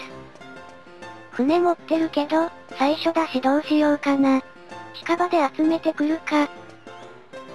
というわけで、色々と。あっと。トロデオウに、バニースーツをゼシカに着せるようせかされたゆっくりでした。早速初戦を始めますかね。指示できないから見てるだけなんだけども。なんか緊張してきた。相手チームとの体格差ありすぎじゃないか？まあ、でかいからって強いわけじゃないけどさ。あ、一応メンバーは、ドランゴ、ゴレムス、デンスケにしてみたよ。ドランゴはステータスが結構伸びるし、ゴレムスは、ゴーレム系の他にタイと組ませると進化を発揮するよ。デンスケもステータスがいいからね。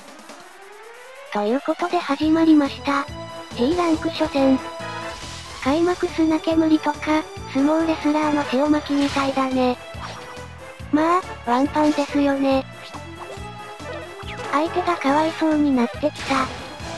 しかし同情してられない。デンスケの腹パン強いなまあ、ランク G 初戦だからこんなもんよね。お、人面がいるか。懐かしいな劇的というか、相手からしたら悲劇的というか。はい、第2ラウンド行ってみましょう。もうあれだ。トグロ兄弟でいいな。うん。互角というか、負ける気がしない。やーっておしまい。あらほらさっさこんなこと言ってたら負けそうだけどね。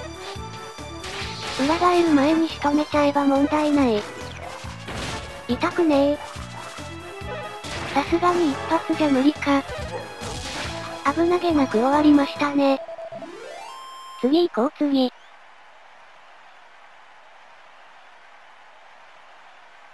おや、雰囲気が変わったね。長く、苦しい戦いだった。スカウト的な意味で。じゃ、サクッと終わらせてください。トリコの OP か。なるほどね。うーん、注意点とかあげようにも注意するところがないなすぐ終わるし。多分ね。弱いのから倒しますよね。あ、ゴレムスは悪くねえ。まあ、自業自得だよね。次のターンで終わりかな勝ったな。ああ。いやー、ランク G の決勝の相手は強敵でしたね。優勝しても賞金は出ないけど、商品がもらえます。結構有用なのが多いから、進めておくと冒険が楽になるかな。よし、次はランク F か。力の指輪か。後で錬金で何か作っておこうかな。多分忘れるけど。ゆっくりの後ろに立つな。びっくりするから。まあでも、祝福してくれてありがとう。うむ。なんとか頑張ってみますよ。おお、プレゼントまで。組み合わせの幅が少し広がるね。スカウトモンスターをストックできるのは地味に嬉しい。了解した。とりあえず今のところはこのままでいいかな。あ、わかりました。早速ランク F に挑みますかね。まあ、自分のチームしかないし。一応お金にも余裕あるし。多分負けはしないだろうけど、ちょっとわからんね。あ王子。王子じゃないか。まあ、ワカメ王子は野菜王子ほど強くないけどね。で、ベジータというか、ドロリーか。オクトセントリーがいない？やり直し。仲間にすると結構強かったような気がする。B ランククリアしないと出てこなかったかな？多分。あ、結局一発なのね。まあ、シアーノンだから仕方ないか。そんなんで笑うやつなんか、いました。もう倒したって出てる。というわけで終わり。相手が弱くて助かるね。モンスターかぶっちゃったね。こっちの電電流の方が強いといいな体力も十分よ。さっきとメンバー変わらないからね。うん。相手チームは、仲間呼びで電電流を呼び出すリンリンが2匹か。ここだと呼ばないけどね。やめてよね。本気で喧嘩したら、電電流が電助にかなうはずないだろ？だからって、開幕に砂まくのはやめてあげてよこれ、スクルトというより、力になってますよね。お前やる気なしか。次で倒せるかな？お前もやる気なしか。相手チームのオーナーに同情するよ。はい、あと1匹だからもう勝てるね。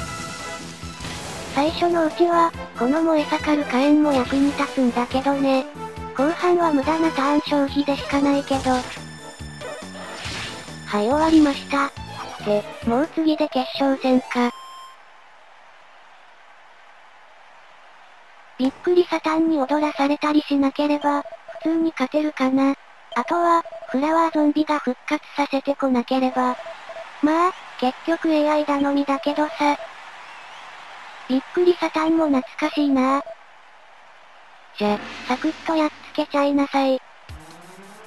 ゆっくり、ランク F に優勝したらクラークを仲間にするんだフラグをへし折ってくれるはず。こいつの全体攻撃って結構食らうんだよね。HP 高ければ気にするほどじゃないけど。ゴレムスはテンション溜めてくれるからいいんですよね。ただ、途中でやられるかもしれないけど。ゴレムスが少しヤバくなる、かな？まあ、このターンで終わるからいいけどさ。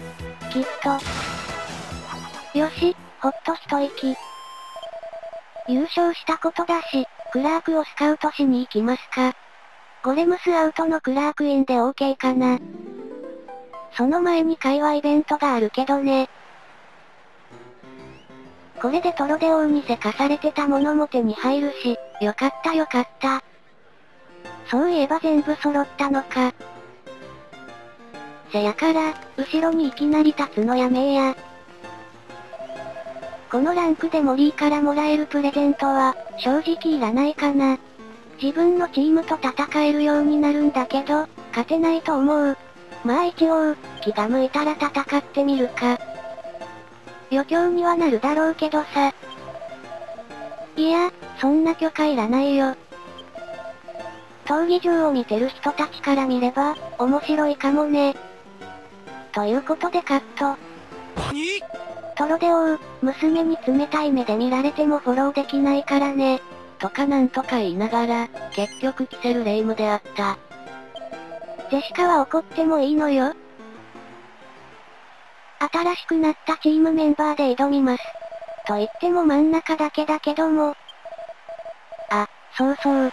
バトルロードをクリアしたランクによって、スカウトできるモンスターも増えるから、色々探してみると面白いかもしれません。ちなみにクラークは、F ランク優勝したら、願いの丘に向かう途中の土手に出てくるよ。今のところこのチームだと、攻撃力トップで、だいたい、90から100の間くらい与えられるんじゃないかな。稲妻切り使うと結構与えられるね。クールが瀕死になるわけだ。クラークの話してたら終わりました。この相手チームは、ウィッチレディのパフパフとか、ノックヒップのザキが脅威かな。おっと、ザラキ新刊の悪口は言わないぜ。クリプトは AI の犠牲になったのだ。まあ、初めて戦う相手に使うように設定されてるみたいだからね。はい、そんなこんなで始まりました。ランクイン2回戦目。ミニデーモンには結構苦労させられたんだけどなぁ。結構食らうなあとはザキが来ないよう祈っとけば OK。誘う踊りというか、不思議な踊りだよ。さっきの。よく頑張ったがとうとう終わりの時が来たようだな。さすがクラーク先生だよ。なんか英語教えてくれそうだけど。この相手チームは、タップデビルが結構妨害してくるから脅威かな。最初に倒してくれると楽になるんだけどね。狙ってたわけじゃないけど、女性同士の決勝戦になったか。 Stand by, stand by。ゴー。うざったいやつから倒してくれますように。いいぞ、もっとやれ。いや、もうやった。まさか過去形になるとは。ドランゴのハヤブサ切りも強いな。この辺から攻撃が強くなってきてるな。よし、よっぽどのことがない限り勝てる。あ、いつも雑魚戦でお世話になってるエオラだ。これはジェシカも苦笑い。残り1匹だからってそんな煽らなくても。はやぶさ切りやってほしい時にやってくれないような。って、まだ倒せないか。よし、ランク E も危なげなくクリアだ。これで、最後までお世話になるであろう特技、チーム呼びを覚えるぞ。こうやって見ると、よくこいつらの相手できたな。ランク G 初戦のベススライムたちは、本当はこのランクの商品を、前回のボス戦の時にもらっておくといいんだけどね。3度目の祝福でもうなれた。どうもどうも。これもモリーさんのおかげだよ。そうね。ジェシカの縦横痛恨、いや、快進撃が、インフレ化についていけなくなりそう。あ、チーム呼び覚えました。バトルロードも真剣勝負だと思うんですけど。いや、所詮娯楽か。物質計算隊で戦闘参加ターン数増えたかな？確か。大切なことじゃなくても覚えときます。スカウトモンスターを復活させることができるのは、森井さんだけとは、何者？はい、ということで、今回はこの辺で終わります。最後までご視聴ありがとうございました。次のパートでお会いしましょう。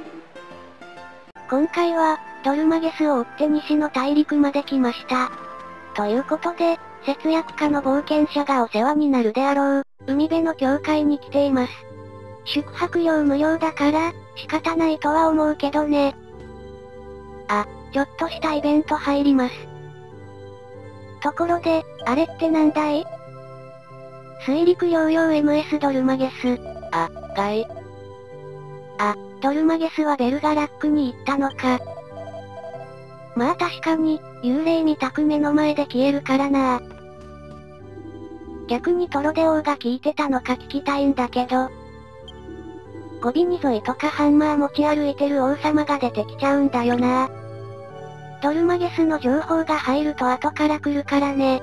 慣れたというわけで、ベルガラックに行く前に一休みしますか。おやすみなさい。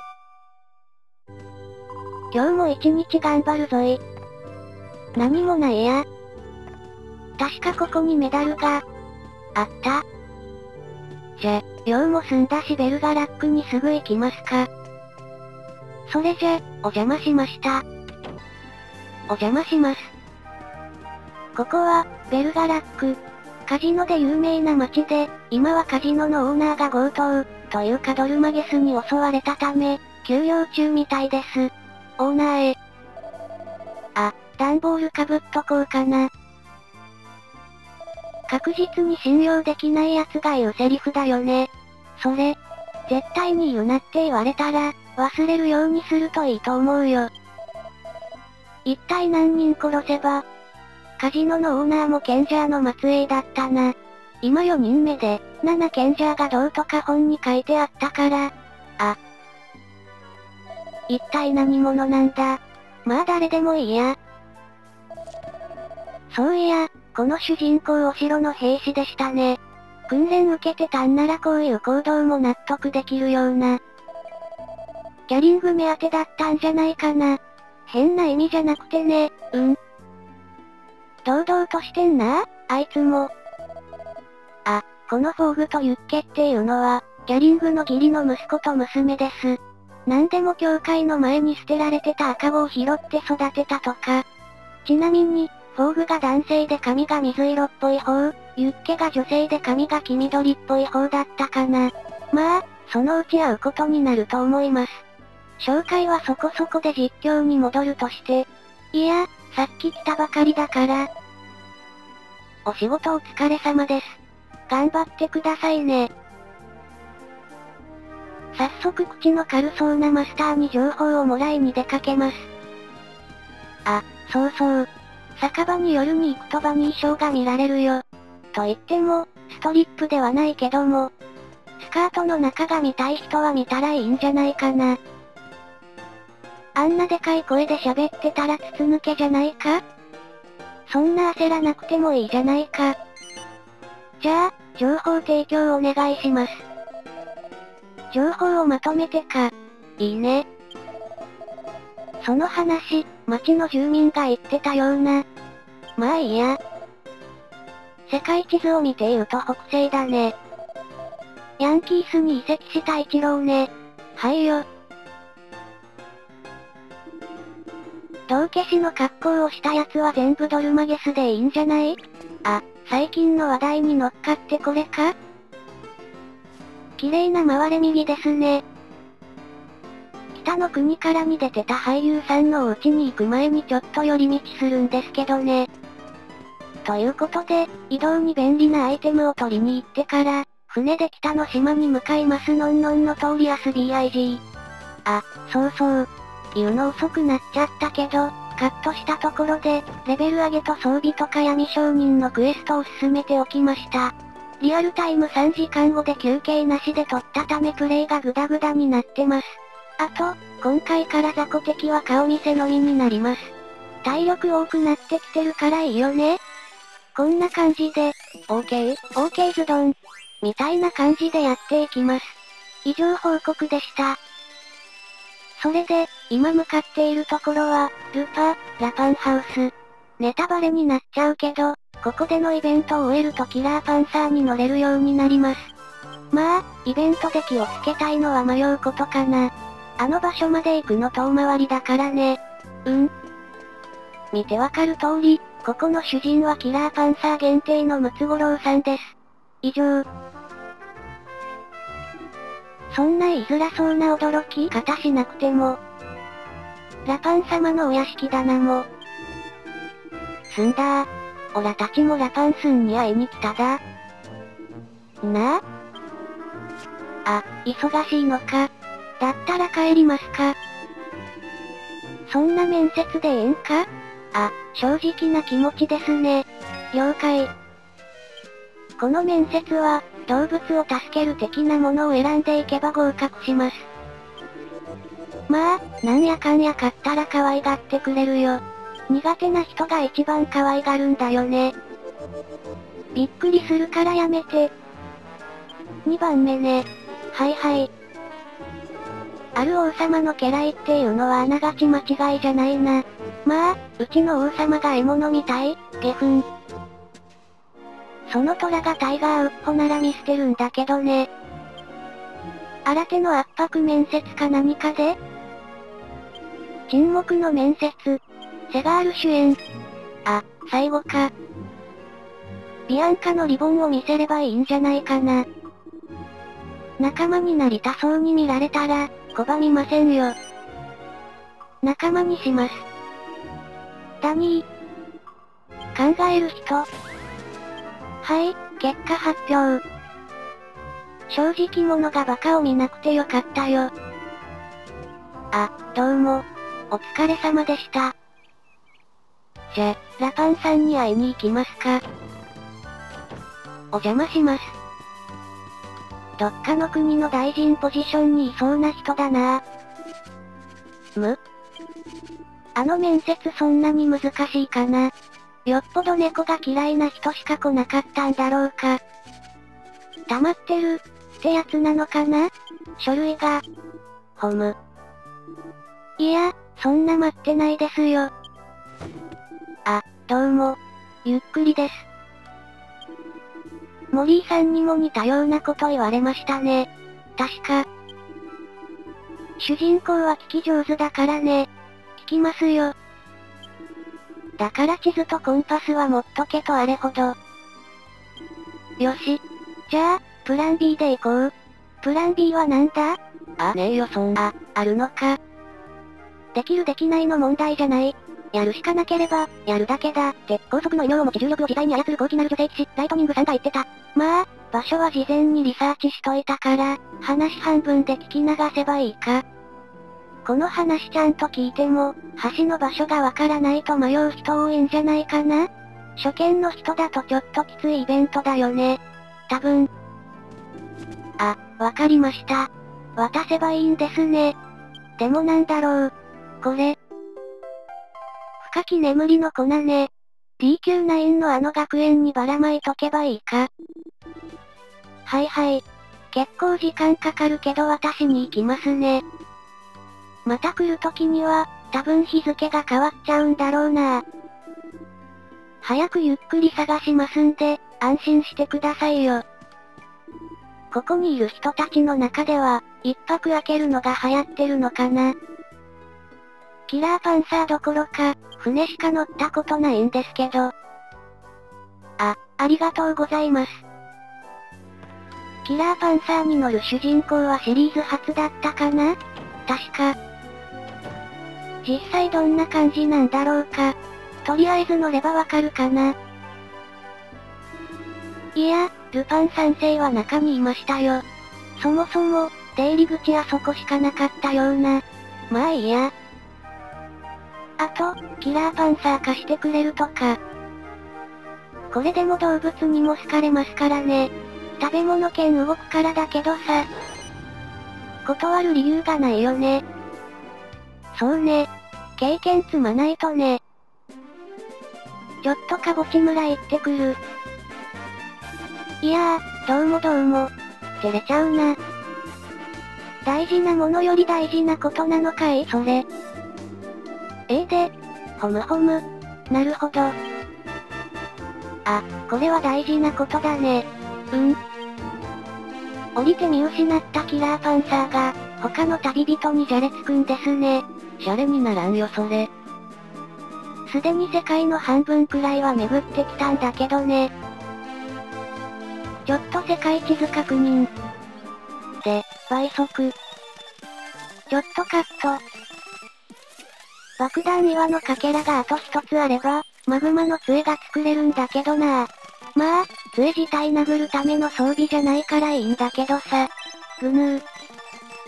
あ、疲れてるせいか地図確認が多いから見てるところカットしますね。ほんと休憩は大事だってことを思い知らされたよ。あ、そうだ。この辺の木を引っこ抜いて武器にすれば強いかもしれない。みんな丸太は持ったな。悪棒に怒られそうだけど、それ。と、まあ、色々と適当に喋ってる間に着きましたね。待ち時間があるから、深夜になるまで変なカットインとともに。不思議な踊りというか奇妙な踊りでした。これ、何年前なんだろうね。キラーパンサーが死んだのって。とりあえず、道を示してあげますか。まあ、ゆっくりボイスにもラリ法効果があるとかないとか。あ、これどうぞ。無道？主人から渡されたんだよ。うん。ちょっと待ってて、今言うな読んでくるから。召喚師は置いといて。自分でも思い当たる節があるんじゃないかな。お、あったのか。ま、まあ、魔法陣ぐるぐるって漫画もあるし、気にすることないんじゃないかな。そっか？どういたしましてかな？中身を巻けばいいのね。はいよ。本当に何の粉なんだろうか。まあ気にせず巻きますけど。こんなもんでああいいっすかねーと。およなんかすごいことになってますね。ああ、はい。伝えときます。まあ、相手幸福だったっていうのならよかったんじゃないかな。サラダバー。バウムレンも蛇の道から落ちないように。って、あれ？通らないじゃんか。とりあえず、お達者でー。なんとも綺麗な去り際でしたね。いや、現在進行形だけどさ。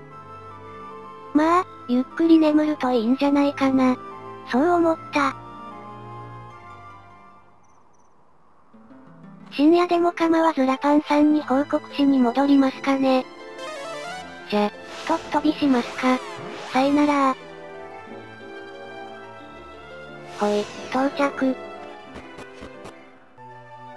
起きてるかわかんないけどとりあえず建物に入りますか。今ちらっと見えたけど、仕事熱心すぎじゃないか？さて、起きてるかな？って、ラパン、お前も仕事熱心か？いや、死なない程度にね。うん。というよりあんたはまだ仕事してるのか？少し休んだらどうすかね？あの木があった場所で命の木の実がなるとかだったら、食べるのやめてました。え、何それ怖い。そうか、死に気づいたら冥界に行けるのか。別に覚えても何もないけどさ。まあ、人の言葉も喋ってたというかなんというか。俺の屍を超えるんですね。はい。やめちゃいかんのか？いかんでしょ。いや、確かに何してるのか気になってたけどね。それ。キラーパンサーは友達ということか。あ、会員に？あ、どうも。これからそのアイテムにお世話になると思います。特定の場所以外で使うと移動が楽になるからね。まあ、あとはキラーパンサーをどうしても攻撃したくない人は、戦闘中に使ってみるといいんじゃないかな。戦闘が少しは楽になるはず。そうか。バウムレンの鈴って名前か。念願のバウムレンの鈴を手に入れたぞ。いえいえ、こちらこそ色々お世話になりました。さてと、ストーリーの方を少し進めますかね。じゃ、船までカット。えっと、ここから北だって言ってたからそこに向かってみますか。今回はそんなに遠くないから、等速でお見せしますね。移動のみ。あ、なんだこいつらか。カットする意味なかったかも。たまには、船でゆったりと旅をするのも悪くないね。BGM が聞きたいがために色々なところ行ったりとかさ。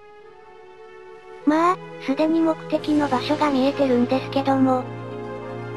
あ、なんかトロデインと同じく、一部上が黒い霧に覆われてるところがあるね。あそこが遺跡かな？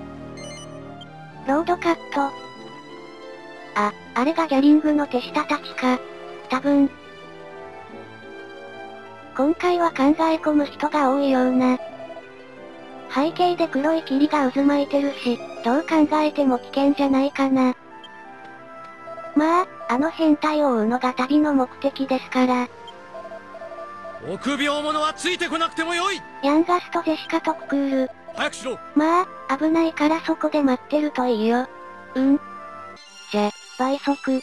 ちなみに、ここでバウムレンの鈴を使っても、キラーパンサーが来てくれなかったと思うよ。マージマ単語のヒャダルコ地味に痛いな。とは言ってもこの辺で気をつけるべき敵は、この赤いレッサーデーモン。私の場合だけど、あいつは余計が効かないから、いつものようにオラで削ってから1体ずつ倒すってことができなくなります。その代わりメラ系とかギラ系とヒャド系が効きやすいみたいだから、それで対処するといいんじゃないかな。はい、遺跡に到着しましたね。ここの入って右側の建物の中に、小さなメダルがあるから覚えておくといいかもしれません。まあ、このイベントの後撮るけどカットなんですけどね。あれ、なんかいつもよりお疲れのご様子ですね。ギャリングと戦った疲れが癒えてないのかしら。って、また目の前で消えられたか。でも、あいつも中にいるだろうから乗り込むか。あ、あれ？何にも見えないよ。出入り口もなくなったし、とりあえず進んでみるか。あれ？おかしいな入り口に戻されるはずなんだけど。リレミトも使えないし、どうしよう。1分くらいさまよったのでカット。なんだ、進み方が適当すぎただけか。ああびっくりした。さてと、このイベントが終わったら今回は終わりにしますかね。あ、決心してきてくれたのか。説明か。ぴったりのやつが、ポルナレフ状態でぴったりよね。むしろそれで伝わったのか。まあ、本当にそれで伝わってたらびっくりよね。太陽とかやればいいんでない太陽圏でもいいかも。サザンビークか。あ、クズ界のホープがいるところか。というわけで、今回はこの辺で終わります。最後までご視聴ありがとうございました。それでは、また次回お会いしましょう。はい、サザンビーク城前まで着きました。トロデオ悪いね。先にどこか行っておいたよ。このお城というか城下町は、バザーが開かれることで有名なんだって。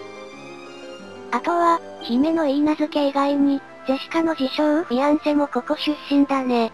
名前はラグなんとかさん。大臣の息子だったかな。まあ、さっき言った二人ともく、評判良くないけどね。ここの紹介はこんなもんかな。はぁ、あ、会いたくなくて会いたくなくて震える。そんな曲があったようななかったような。はい、探索カット。さっきも言った通りこの国の王子は評判良くないですね。何でも王家の儀式を、仮病やら何やらで行かないんだとか。あとは、さっきまで王子がお城で脱走騒ぎを起こしてたみたいです。脱走なら、お城の壁を蹴破ったお姫様見習えばいいと思うよ。誰とは言わないけどね、誰とは、サイヤ人なんじゃないかな。あの子。と、まあ、ドラクエで王子の評判が良くないのはシリーズ恒例みたいなもんだし、いいんだけどさ。構成しないけど、あいつ。はい、いろいろ喋ってたら王様のところに着きましたね。それじゃ、サクッと交渉しますか。王様がなかなかのイケメンってことは、王子もイケメンなんだろうな。あ、そうそう。王子とは違って王様は評判がいいみたいです。この国の未来は明るい。はは。あとは、王様のお兄さんが行方不明だとかなんとか。まあ、世界には自分に似てる人が3人いるらしいし、誰かに似てても不思議じゃないさ。あ、魔法の鏡貸してくださいまし。ドルマゲスを追って旅して、なんたらかんたらで OK かな。宝物庫に道化師が押し入ったみたいだし、まあ拒否しても文句言わないさ。もう一回誰かが侵入するかもしれないし。借りるというか、もらうという表現でいいかな。うん。ジェシカがバニー姿なのは、視聴者サービスですよ。サムネにしようとかじゃな。しました。危機をくぐり抜けてきたというより、巻き込まれたような気がするけどね。はぁ、あ、護衛。来たか。任務は遂行する。仲間も守る。両方やらなくっちゃならないってのが勇者の辛いところだな。覚悟はいいか？ゆっくりはできてる。これぐらいの覚悟持ってないと王子には耐えられないよ。はぁ、あ、引き受ける代わりに、王様にはオプーナを買う権利をやろう。呼ばなくていいと思うよ。まあ、どっちつかずではっきりしないクズキャラよりは、思いっきりクズの方が好感は持てるけどね。嫌いだけど。命落としてもいいんじゃない？悲しむの王様くらいだろうし。おいおい。はっきり言い過ぎじゃないか？いいんだよ。これくらいで。そ、そうか。世の中、嫌なことでも乗り越えなくちゃならないからね。しょうがないさ。まあ、王様のメンツもあるからね。一応は王子のメンツも考えてやるか。まあ、大体察しつくけどさ。はあ、まあ、チャボス王子自体、体力の多いメタルスライムみたいなもんだし。尺的にきついんだぜ。バカ者は王子の方だと思うんだけどなまあいいや。どっちにしろ、探しに行かないと始まらないから、探しに行きます。この先、チャボス王子がうざったいかもしれないけど、許してね。ここでのイベントは、ため息しか出ないよ。多分。どこ行けばいいんだっけな。ジョイトカット。あ、ここか。この先、久々のトーポくんの移動シーン入ります。ほんとここでのトーポは癒される。えっと、確かここだったから。よし、じゃ、頑張ってきてね。ほんとどうでもいい話だけど、トーポの移動シーン中、三角ボタンで前転できるよ。かわいいね。ちなみに、あそこの覗き穴からチャボス王子が見られるよ。あと、チャボス王子はトカゲが苦手だよ。あとはお察しの通りです。狙い撃つぜ。まあ、撃ってはいないけど。フォローうんぬんじゃないけど、誰だって頭の上にトカゲとかが落ちてきたら、驚くよね。鳥の糞が腕に落ちてきたことはあったけど。ウボアーって断末魔のボスなら知ってるけど、あとは夢日記のあれとか。さて、チャボス王子も捕獲されるだろうし、5倍速で戻りますか。はい、戻ってきました。何も取り忘れてないみたいだね。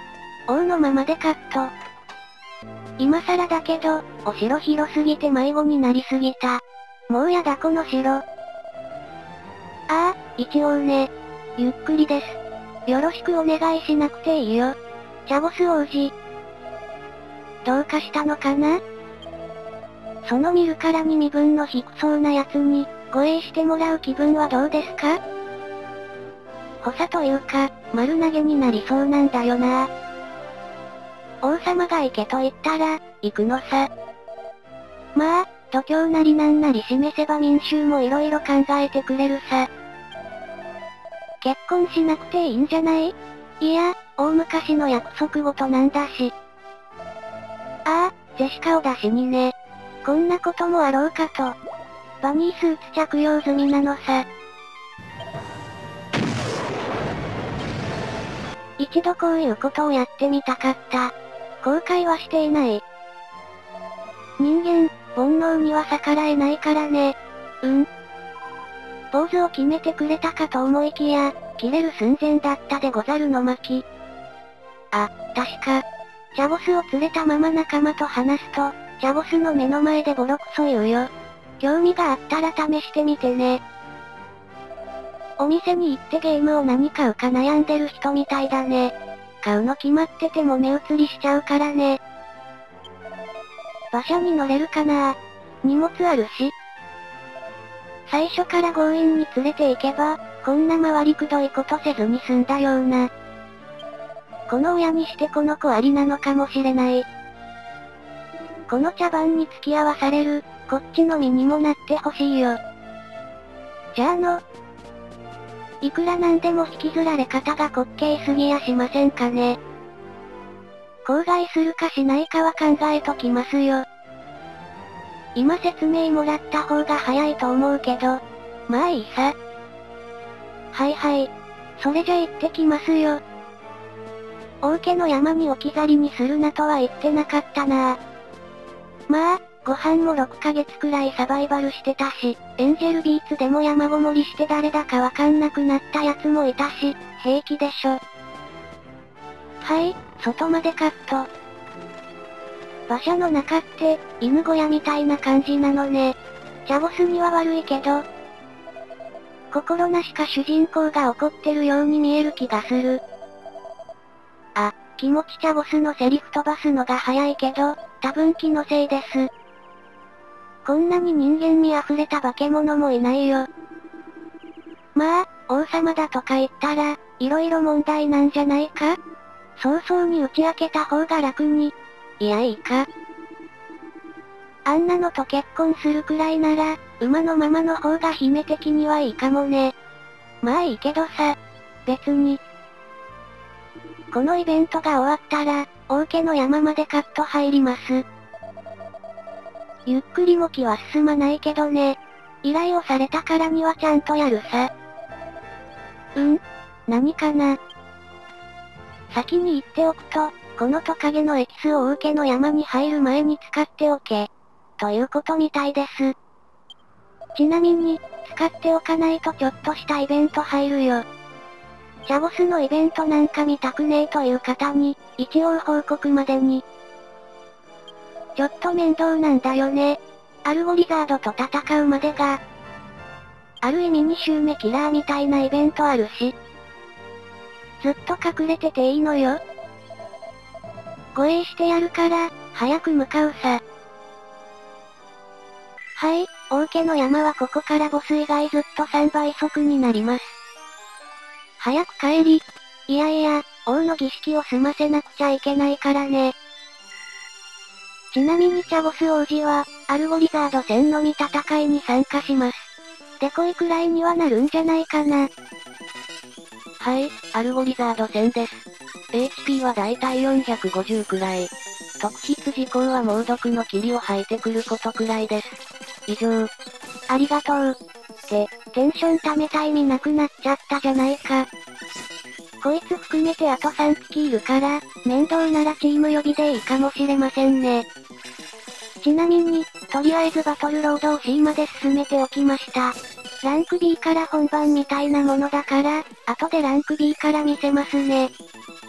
あとは、ついでだからアポロンもスカウトしてきたよ。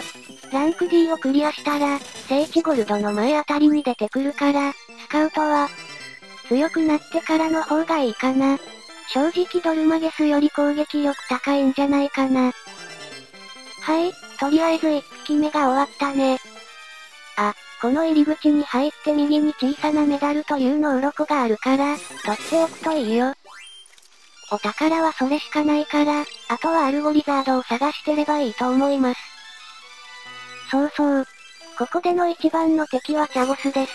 まあ、後で説明するんだけども。さて、小さなメダル取ったらあとはアルゴリザードだけか。もう場所覚えてないなぁ。というわけでちょこちょこカット入ります。あ、こっちの方に一匹いたか。お、いたいた。このイベントは絶対先に見ておいてね。今から取りに行く、ジョロの実っていうアルゴリザードの鉱物を、もう一度取りに行く羽目になるよ。これがジョロの実です。アルゴリザードの近くに投げれば、これを夢中で食べてる時に捕まえられます。それくらいかな。面倒だからチーム予備カット。クラークを団吉でもいいんだけど、稲妻切りが見たいという理由だけで、クラークにしているよ。まったく。真っ先に逃げるくせに何がもっと大きいやつじゃないと、城のみんなが見返さないだよ。はあ。まあ、でも、人から見たら嫌なやつでも、お腹が空いてる魔物から見たらいいやつかもしれない。あとは、この辺にいる一匹だけかな。あ、よかった。合ってた。すげえ跳躍。はあ、命令ね。はいよ。運んでいる時は5倍速でお送りしています。はあ、やっと終わるのか。スクルトなしだと、アポロンの攻撃120以上は食らうからね。仲間にしてよかったよ。あ、弓上げておけばいいや。ちなみに、クールがベホマラー覚えるまでレベルを上げておきました。以上です。反論の余地なし。あーめんどくせえ。こいつ。おっと本音が。なんかいつもの2倍疲れたような。慌ただしい BGM だな嫌な予感しかしないけど。はあ、そのまま振り落としていいよ。ジェシカじゃないけど、早く別れの時が来ないかなチャボスのセリフが早いのは嫌いだから、じゃなくて気のせいなんだぜ。トロデオが無理難題を押し付けることはあっても、怒るのは珍しいな。さて、そろそろかな。じゃ、あとよろしく。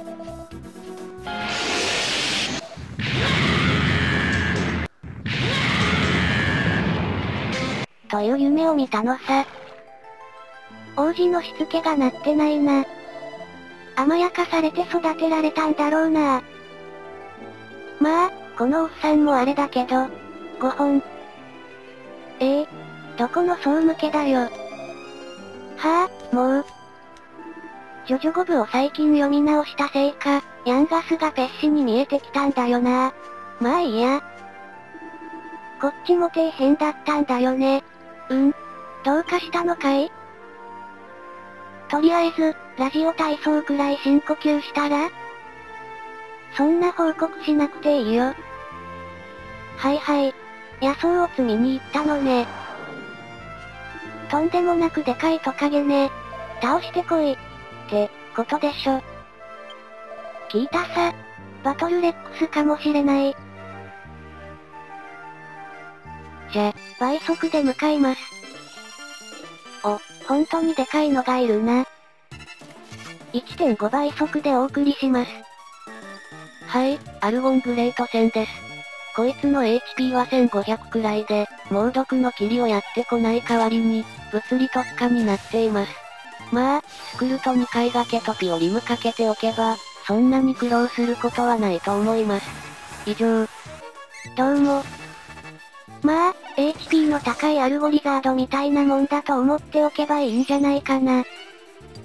さっきチャボスに攻撃がいったのに食らわなかったか。はいはい。わかってた。このターンが終わったら全員試させますかね。あ、そうそう。ダメージをもっと与えたいなら、ルカニかカブトはリアっておくといいかもしれません。ジェシカはレベル上限値まで杖に振ってあるから、MP 自動回復覚えてます。じゃ、久々にスーパーハイテンションあたりまで貯めてみますか。と言っても、ヤンガスと主人公の見た目してみるだけだけど。スクルトのおかげでそんなに痛くないね。楽勝かな ?100 まで上がるかな？ジェシカとククールは順調に溜まっていってるから、50で攻撃させますか？あ、二人とも100まで上がらなかったね。もう一度やってダメなら、攻撃させますか？お、主人公は OK かな？よし。まあ、100まで貯めれば少しだけ、ダメージ量が減るような気がするからいいか。貯める必要ないけど。あ、ヤンガスはダメか。じゃ、全員攻撃に移りますか。このターンで終わるかなさて、どれくらい？お、だいたい半分は削れたね。これだからユニスキルを上げるのは、やめられない止まらない。ジェシカで終わりかな？あ、終わったね。まあ、凍てつく波動をやってこない奴は、そんなに強くないからね。うん。やっとお別れかあ、そうですか。煽ってから逃げたくせによく言えますね。じゃ、ルーラでサクッと戻りますか。あ、そうそう。イカズチの杖を取るついでに、砂漠の境界をルーラに登録しときました。これでこのイベントもやっと終わりか。じゃ、報告して終わりにしますかね。なんだかどっと疲れが出たような。ずっと離れてた方が平和なんじゃないかな。ちなみに、このバザーには、錬金で色々お世話になるよ。その分お金かかるけどね。さて、報告に行く前に、ちょっとイベントを。まあ、個人的にあまり見たくないイベントかな。ほんと、面倒を押し付けられたもんだね。あ、いたいた。何してんのかな何か大事そうに抱えてるね。見ないことには。は？いやいやいやいや。顔面にアルゴンハートぶつけようか？取ってきたやつはどうするんだよ。ちなみに、見えづらいけど王様が見ているよ。ゆっくりの苦労は一体。お前、後で恥かいても知らないからね。ちなみにこの商人、通の価格の3倍の値段で、薬草とかを売っているよ。ただ、祈りの指輪も9000ゴールドで売ってるから、欲しい人は買ったらいいんじゃないかな。カジノでいいような気もするけどね。後ろで王様が見てるんだよな。はぁ、あ。あ、そうそう。このアルゴンハートはマルチェロも持っているよ。寄り道して聖地ゴルドに行くと、そんな感じのイベントがあったかな？確か。お前は何という息子を持ってしまったんだ？ああ、バザーが楽しみだなでもお金ないのか。ゾンビキラーが欲しいけど。うーむ。おっと、危ない危ない。マジでバザー方面に行きかけた。カット。ああそういえば、チャボスの晴れ舞台か。複雑な心境だけど。買ったのを持ち帰ったかな。うん。どうしようもないな。まあ、偽物だし。多分。苦労が水の泡になるってのはこのことだね。チャボスが反面教師になったからよしとするか。そうね。人型のリザードね。胸を張れることじゃないよ。あの金髪のぽっちゃりした子は、フォロ肩通しフォローでもフォローできんよ。はぁ、あ、全くどうしようもないな。お前が罰。主人公たちが。神ね。やっぱり神様なんていなかったね。戦ってというか、煽って逃げた。一生嘘を貫き通せるなら嘘をついてもいいんでない？どうなっても知らないけど。主人公たちがアルゴリザードと戦って、ここで恥をかかせなかったってことは、王様には何か考えがあるんだろうか。まあ、どっちにしろ、話しかければわかることか。ちょっとカット入ります。それじゃ、王様とのイベントが終わったら、今回は終わりにしますかね。どうも。説明しろって言われても、戦ったのはなかったことになったからね。見たまんまなんだよなしょうがない。王子が勇気ある撤退、わら。押したことは黙っておくか。これが証拠よ。そう。己で、ね。まあ、少し、ずる賢いからね。とりあえず、そんなこんなで今回は終わりにしたいと思います。最後までご視聴ありがとうございました。次回でドルマゲスまでいけるかなということで、また次回、お会いしましょう。あと少しあるけどね。ちなみに、魔法の鏡をゲットしたら、魔法が失われていたよ。西の森に住んでる師匠なら何かわかるかも。ということで会いに来ました。あと、今回、詰め込みすぎたから、カットを多用しているよ。で、実況に戻ると、この人が師匠かな？美しい？あ、時よ止まれ。お前は美しいみたいな感じですかね。前にも言ったけど、美しい毛並みだったらわかるんだけど。というより、こっちは何も言ってないのに、なんで姫だとわかったんだろうね。確かに、トロデオの言う通り、そこが気になるけどね。あ、もしかして、盲目なのかな。そういえば、近くでキャンプしてる商人がそんなこと言ってたような。まあいいや。はいよ。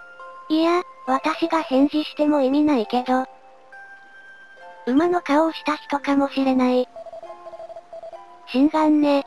弾かれモーションなくなるから便利よね。まだ姫の姿見てないからね。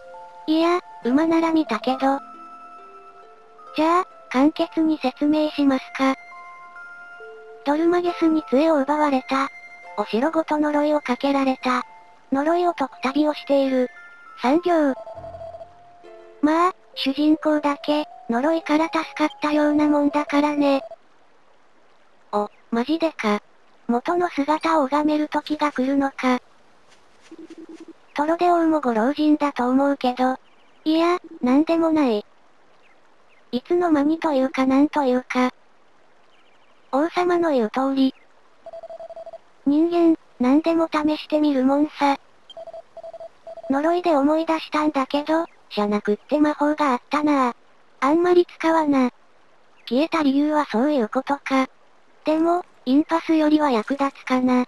不思議なダンジョンなら活躍するけども、両方とも。って、魔法の話してたらすっげー光ってるじゃないか。さて、成功したのかどうか。あ、成功したみたいだね。そこのおっさん、いやお父さんに似てなくてよかった。ボン、キュ。ボンではないけども、スレンダーな体型の美人さんですね。突然すぎて理解が追いつかない場合は、処理が重くなるからね。って、ゆっくりはゆっくりは言ってみたり。少し待てば反応が返ってくるから、安心して大丈夫だと思うよ。さ、あとは親子水いらずで。まあ、主人公は姫と王様の元の姿知ってるけど、仲間からしたら驚きよね。とりあえずあとは、トロデ王も泉の水を飲んで、トロデイン城の人たちも泉に落として終わりかな。トロデインの人たちは戻れるかわからないけど。落ち込んだりもしたけれど、姫は元気です。じゃ、ドルマゲス倒して終わりかな。長かったなそれじゃ、さっさと倒しに行きますか。いいシーンだ。感動的だな。だが無意味だ。え、マジで？マジだぜ。まあいいや。結局、元を立たないといけないのね。と、まあ、このイベント後、ここで無料で回復できるから、姫と話すついでに毎回拠点にしてるんですけどね。悲劇とは言っても、一時的に人の姿に戻れることが分かったからいいんじゃないかな。まあ、ベホマラー覚えてるから、ドルマゲス戦は結構安定するはず。居場所を知ってればこっちのもんだよね。希望を失っても頑張るよ。というか、何か忘れてるような。とりあえず後で思い出せばいいか。それじゃ、またすぐお会いしましょう。さて、もう一度泉の水を飲ませてあげますかね。まあまあ、悲しくならないで元気だしなって。青汁感覚で、もう一杯どうぞ。作った人に悪いし、ミーティアにも悪いから、たまに寄りますかね。と言っても、動画外になっちゃうけど。だだくらいこねてもいいんじゃない？一応お姫様だし。というか、呪いで犬にされた人もいるしさ。って、あれ？仲間が空気を読んでいないぞ。トロデオウもいないし。でも、トーポはいるけど。ふむふむ。まあ、無駄話得意だからね。任せときなさい。時間切れるの結構早いのね。眩し。これ以降、宿に泊まるとミーティアイベントが発生したような、うろ覚えなんだけどさ。頼まれなくても進んでやるけどね。命令はいはい。そうですね。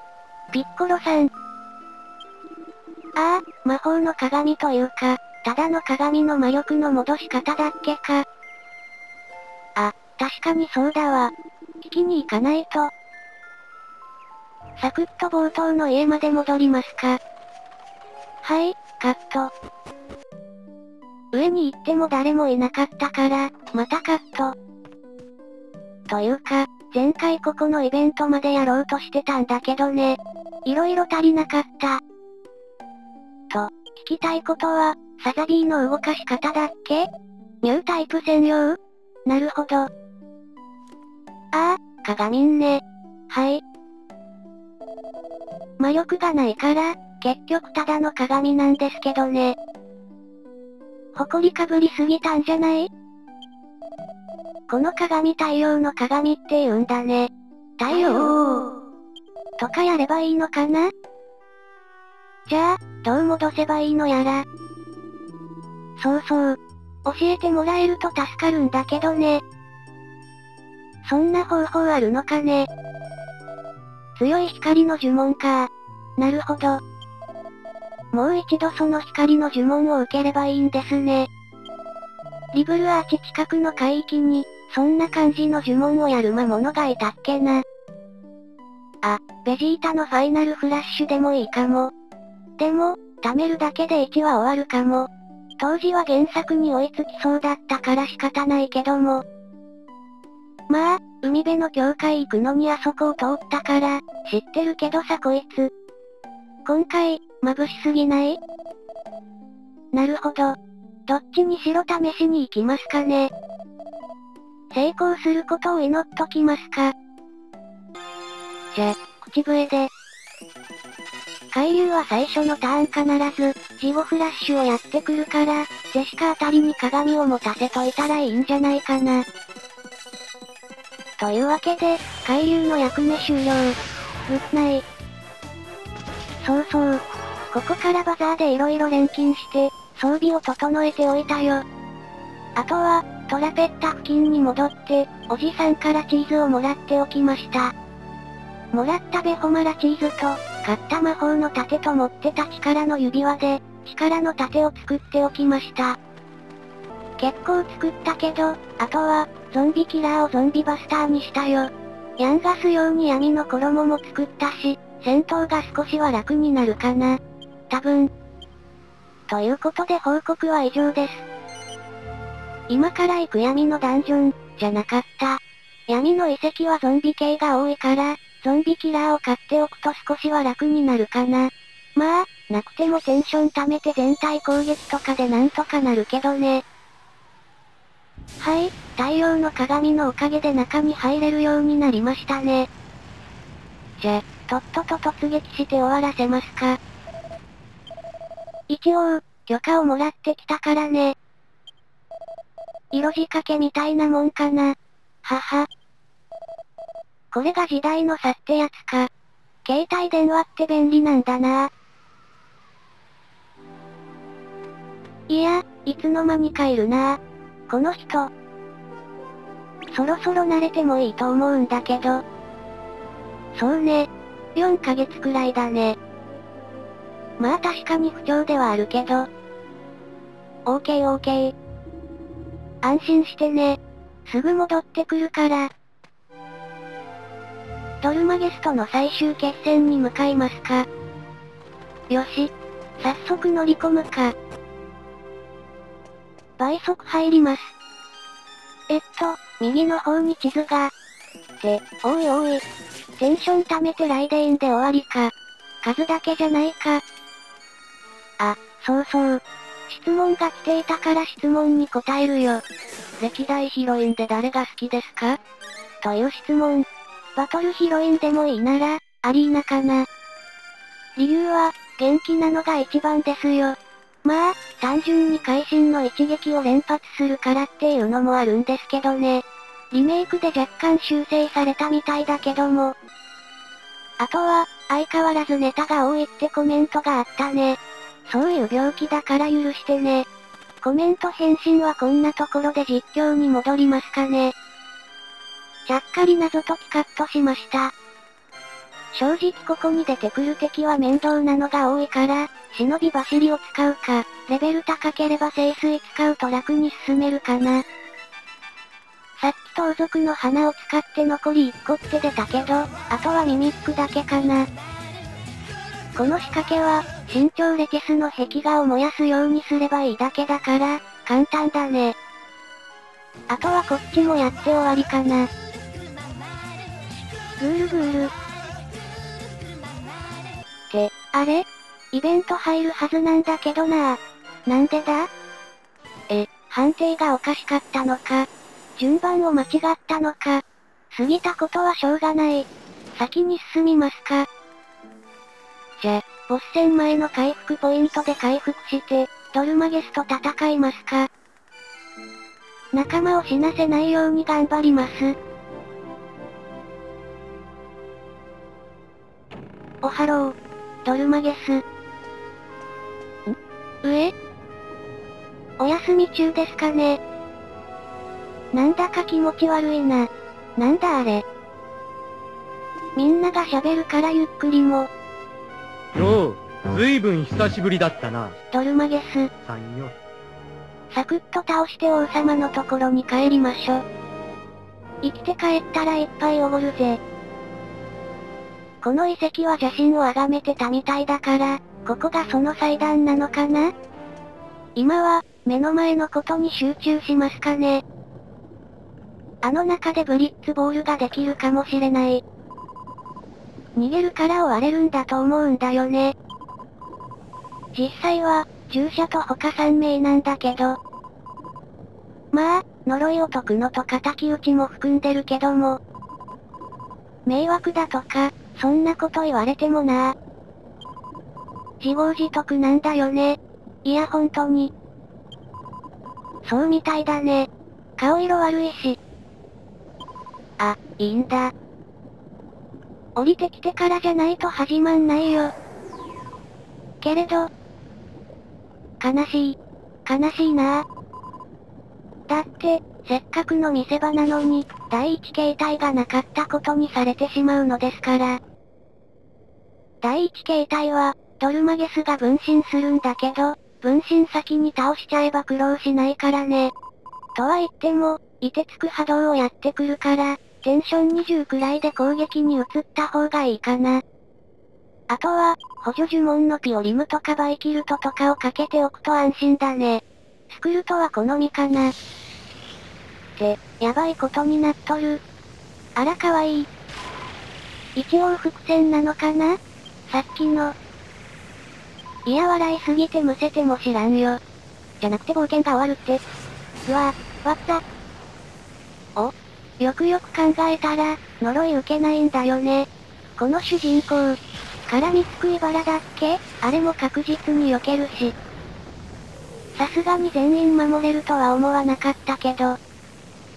でも、さすがにちょっとやばいかな。息が切れるほど全力だったのか。でも、ドーム状になってるんだよね。つまり、そういうことよ。世界の半分をくれたら許してやるけど、どうする？お前は一体、ファンの一人だよ。ここからが本番、ってことですね。まあ、多分なんとかなるでしょ。このロリコンどもめ、とか言うかもしれない。変身シーンは待つのがお約束だから、もう少しお待ちを。今回何回目だろう？フラッシュ描写。眩しいってば。どうなったかなもはや人っぽい何かじゃなくなって、ただの何かになったか。あ、そうそう。こいつに負けても、また第二形態から始まるから、負けても安心だね。まあ、負けないのが一番なんだけどさ。とうとう気が狂ったか。いやもともとだったね。ゆっくりは滅びぬ。何度でも蘇るさ。うう、なんだか緊張してきた。久々に戦うからどうなるかわかんないなあふんよし、来い。あ、ま、はい、ドルマゲス第2形態戦です。こいつの HP はだいたい2500くらいで、頻繁に凍てつく波動が来るため、テンションためはあまりおすすめできません。あと、運が悪いと全体攻撃ばかりしてくるから、ベホマラーを覚えておくと回復が楽になるのはこのためです。ただ、なくてもバトルロードをランク B まで進めてチームを2つ持っていれば、そんなに苦労しないかもしれません。どうしても苦労する人はチーズをもらってくると少しは楽になるかな。本戦法は第一形態と同じで大丈夫だと思います。あとは、世界樹の葉を買っておくといいんじゃないかな。ちなみに、ダメな見本をレイムが実践してくれました。この後すぐ。はい、どうも。あれ、あんまり凍てつく波動来ないな。ピオリムかけておいて。あ、補足だけど、早めに回復を心がけておくとなんとかなるよ。あとは、ピオリムをかけておけば絶対ではないけど先制しやすくなるね。ククールはスクルトよりも回復優先にしとくといいよ。多分。そういえば、ドルマゲスは2回行動だったか。全体攻撃が多いから強敵なんだよね。ベホマラーを覚えてなかったら、チーズの出番ですよ。ジェシカはうーん、主人公にバイキルトでいいか。じゃ、次のターン攻撃しますか。ちなみに、カブト割りとかルカニが効くから、やっておくといいよ。フバーハもやっておけばよかったかな。運任せでテンションを貯めるとこうなるよ。まあいいや。ていうか、ジェシカがやること多すぎるな。ククールの杖スキルも上げておけばよかったかも。結構安定して戦えてるかな？火炎切りとかも今度使ってみるかね。動画だし。結局ヤンガスは、この辺からカブト割り安定になってくるし。結構食らうなぁ。全体攻撃持ちすぎだろ。ほんと。それじゃ、最初の二人はいつもので、ククールは早めに回復かな。ジェシカは、マジックバリアかな次からバイキルトで攻撃を補強しますか。クールはそろそろ MP 回復させますかね。守備力下げた効果が少し出てるね。よしよし。あ、なんとか、ならない。早めに回復しておいてよかったよ。回復は今のところ大丈夫だろうから、主人公は攻撃でも OK かな。いつもの。ジェシカはバイキルトかな。ヤンガスにハヤテのリングをつけといたから、効果が出てるね。少しだけどさ。あ、通常攻撃なら OKOK、OK。いや、はやぶさ切りやられたからって、2回も主人公を攻撃しなくても。これ以上守備力下がらないけど、兜割りでいいか。クールは MP 回復。フバーハも念のためかけとくかな。MP 回復美味しいです。お、ベホマラー1回分か。主人公の、ギガスラッシュを早く使いたいもんだね。蒼天魔山でもよかったかな。お、ナイス。やっぱり闇の衣のおかげかな。じゃ、そろそろヤンガスにもバイキルとかけますか。主人公だけ回復しておけば大丈夫でしょ。多分。よしよし。まだ倒せないのか。うーん。まあいいや。お、かなりダメージが変わったね。ちょ、いていて早く終わらないとククールの MP が切れるかも。余裕でした。さっさと終わらせて帰りたいんだぜ。ていうか、あれ以来いてつく波動が来ないんだけど。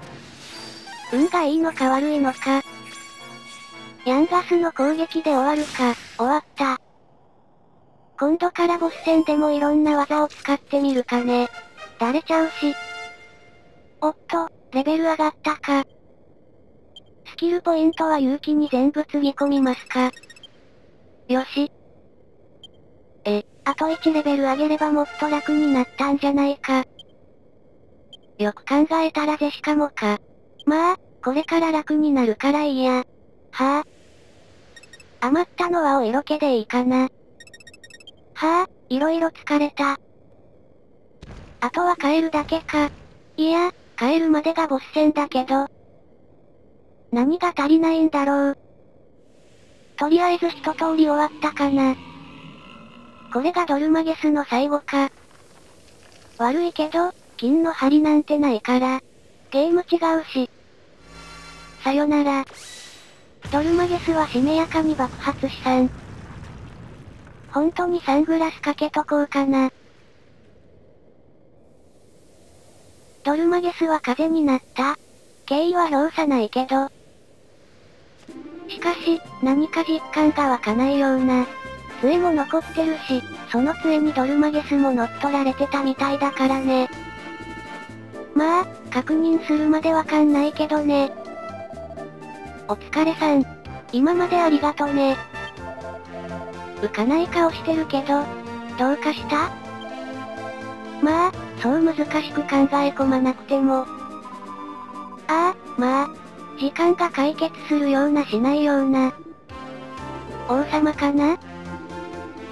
それならトロデインに帰るだけだね。おや？わあ、かわいい。いや、変わってないな。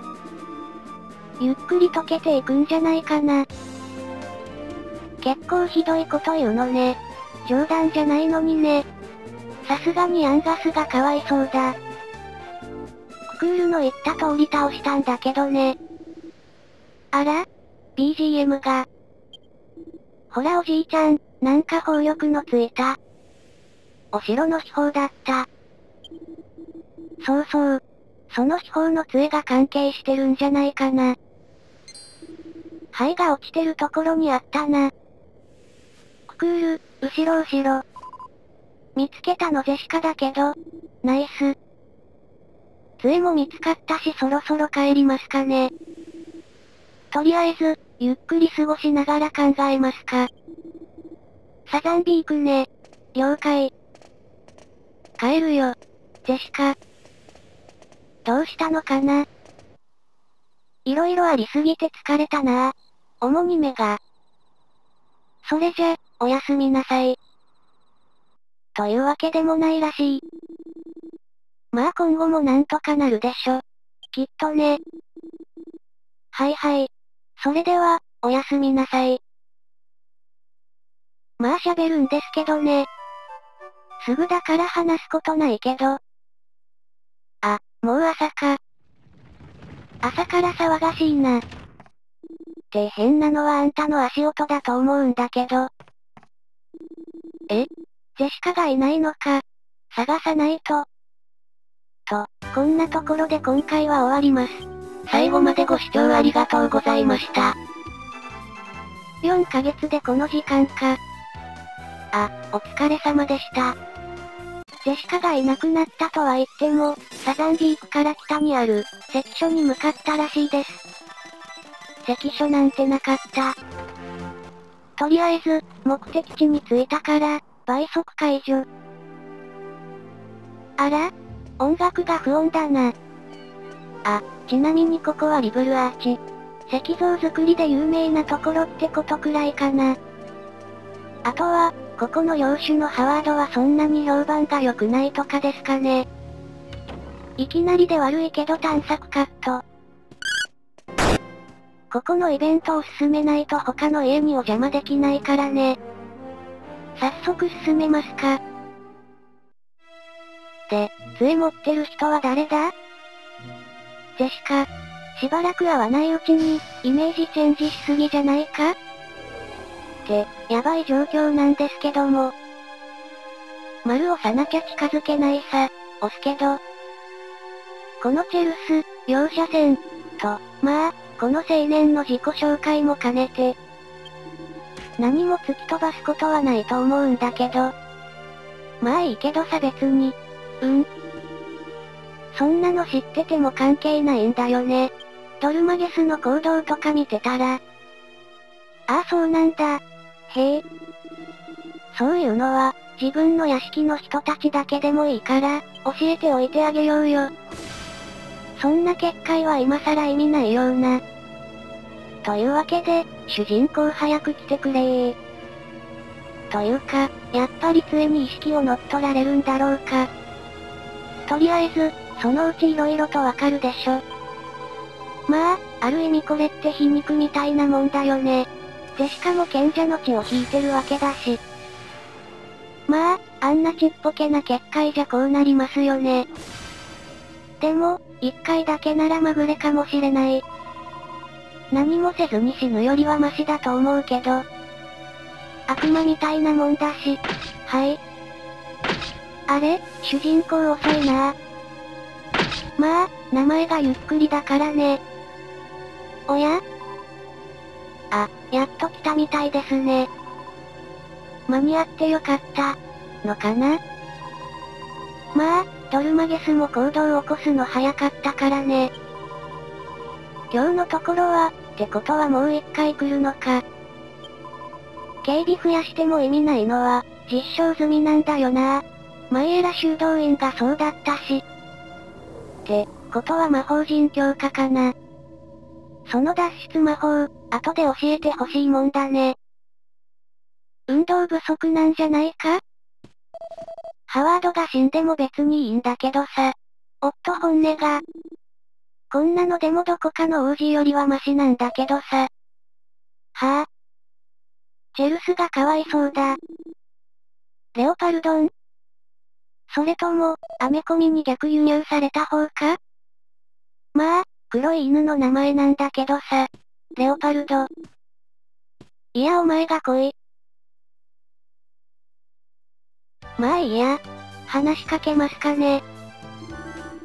自分で偉大なるとか言うと滑稽だよね。ましてやこっちは知らないし。ああ、そうなんだ。ハワードねー。じゃあ、ハート様って呼びますね。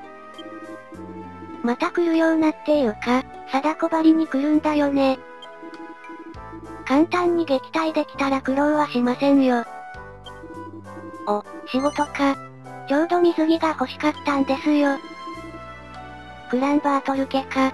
リーザス村にある本に載ってたような、なかったような。クラン、スピネルね。はいはい。ああ、先代が頑固ちゃんなのか。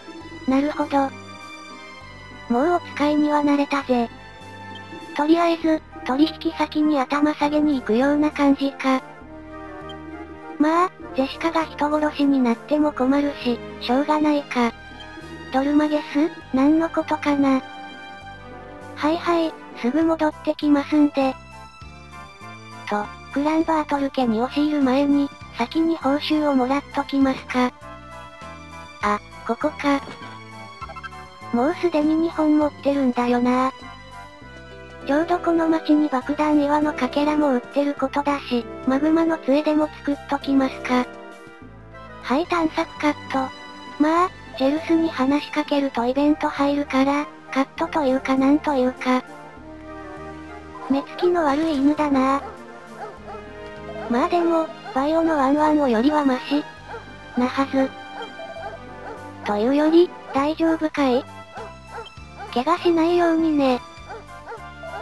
あんなに雇い主に邪険に扱われても尽くすのか。尊敬するよ。あ、はい。旅人です。じゃあ、色々なことも知ってるのかな？行くあてがなく旅してたらお金が底をついても、しょうがないよね。いいとこあるのね。あの人。と、まあ、ゆっくりの評価がマイナスからゼロに戻っただけなんだけど、使用人のこの人があの扱いでいいなら、何も言わないさ。はい、今度こそ探索カット。あと宿やイベント。はいはい。ちゃんと聞こえてますよ。まあ、そんなしょんぼりしなくても、なんとかなるでしょ。見つけたと思ったら、またどこかに行っちゃったし。とりあえず、杖をどうにかしないといけない気がする。それもあながち間違ってないはず。あ、祈りで思い出した。セーブしとかないと。はい、カット。野生のキラーパンサーの方が、レオパルドより行儀がいいってどういうこったその気持ちはわかるけども。あ、そうそう。クランバートル家に行ったら、クラン、スピネルは父が知ってるから聞いてみたらって言われました。ライドンの塔っていうところにこもってるらしいから、向かってます。とりあえず、この地方は近くに石像を作ってる町があるから、物質系が多いかな。このライドンの塔もそうだけど、とりあえず兜はリアンテイかな。もしくはチーム予備とか。ちなみに、この塔、地図がさっき手に入ったけど、今いる回数を確認するくらいにしか役立たない気がします。ここのギミックがすごく良心的だからね。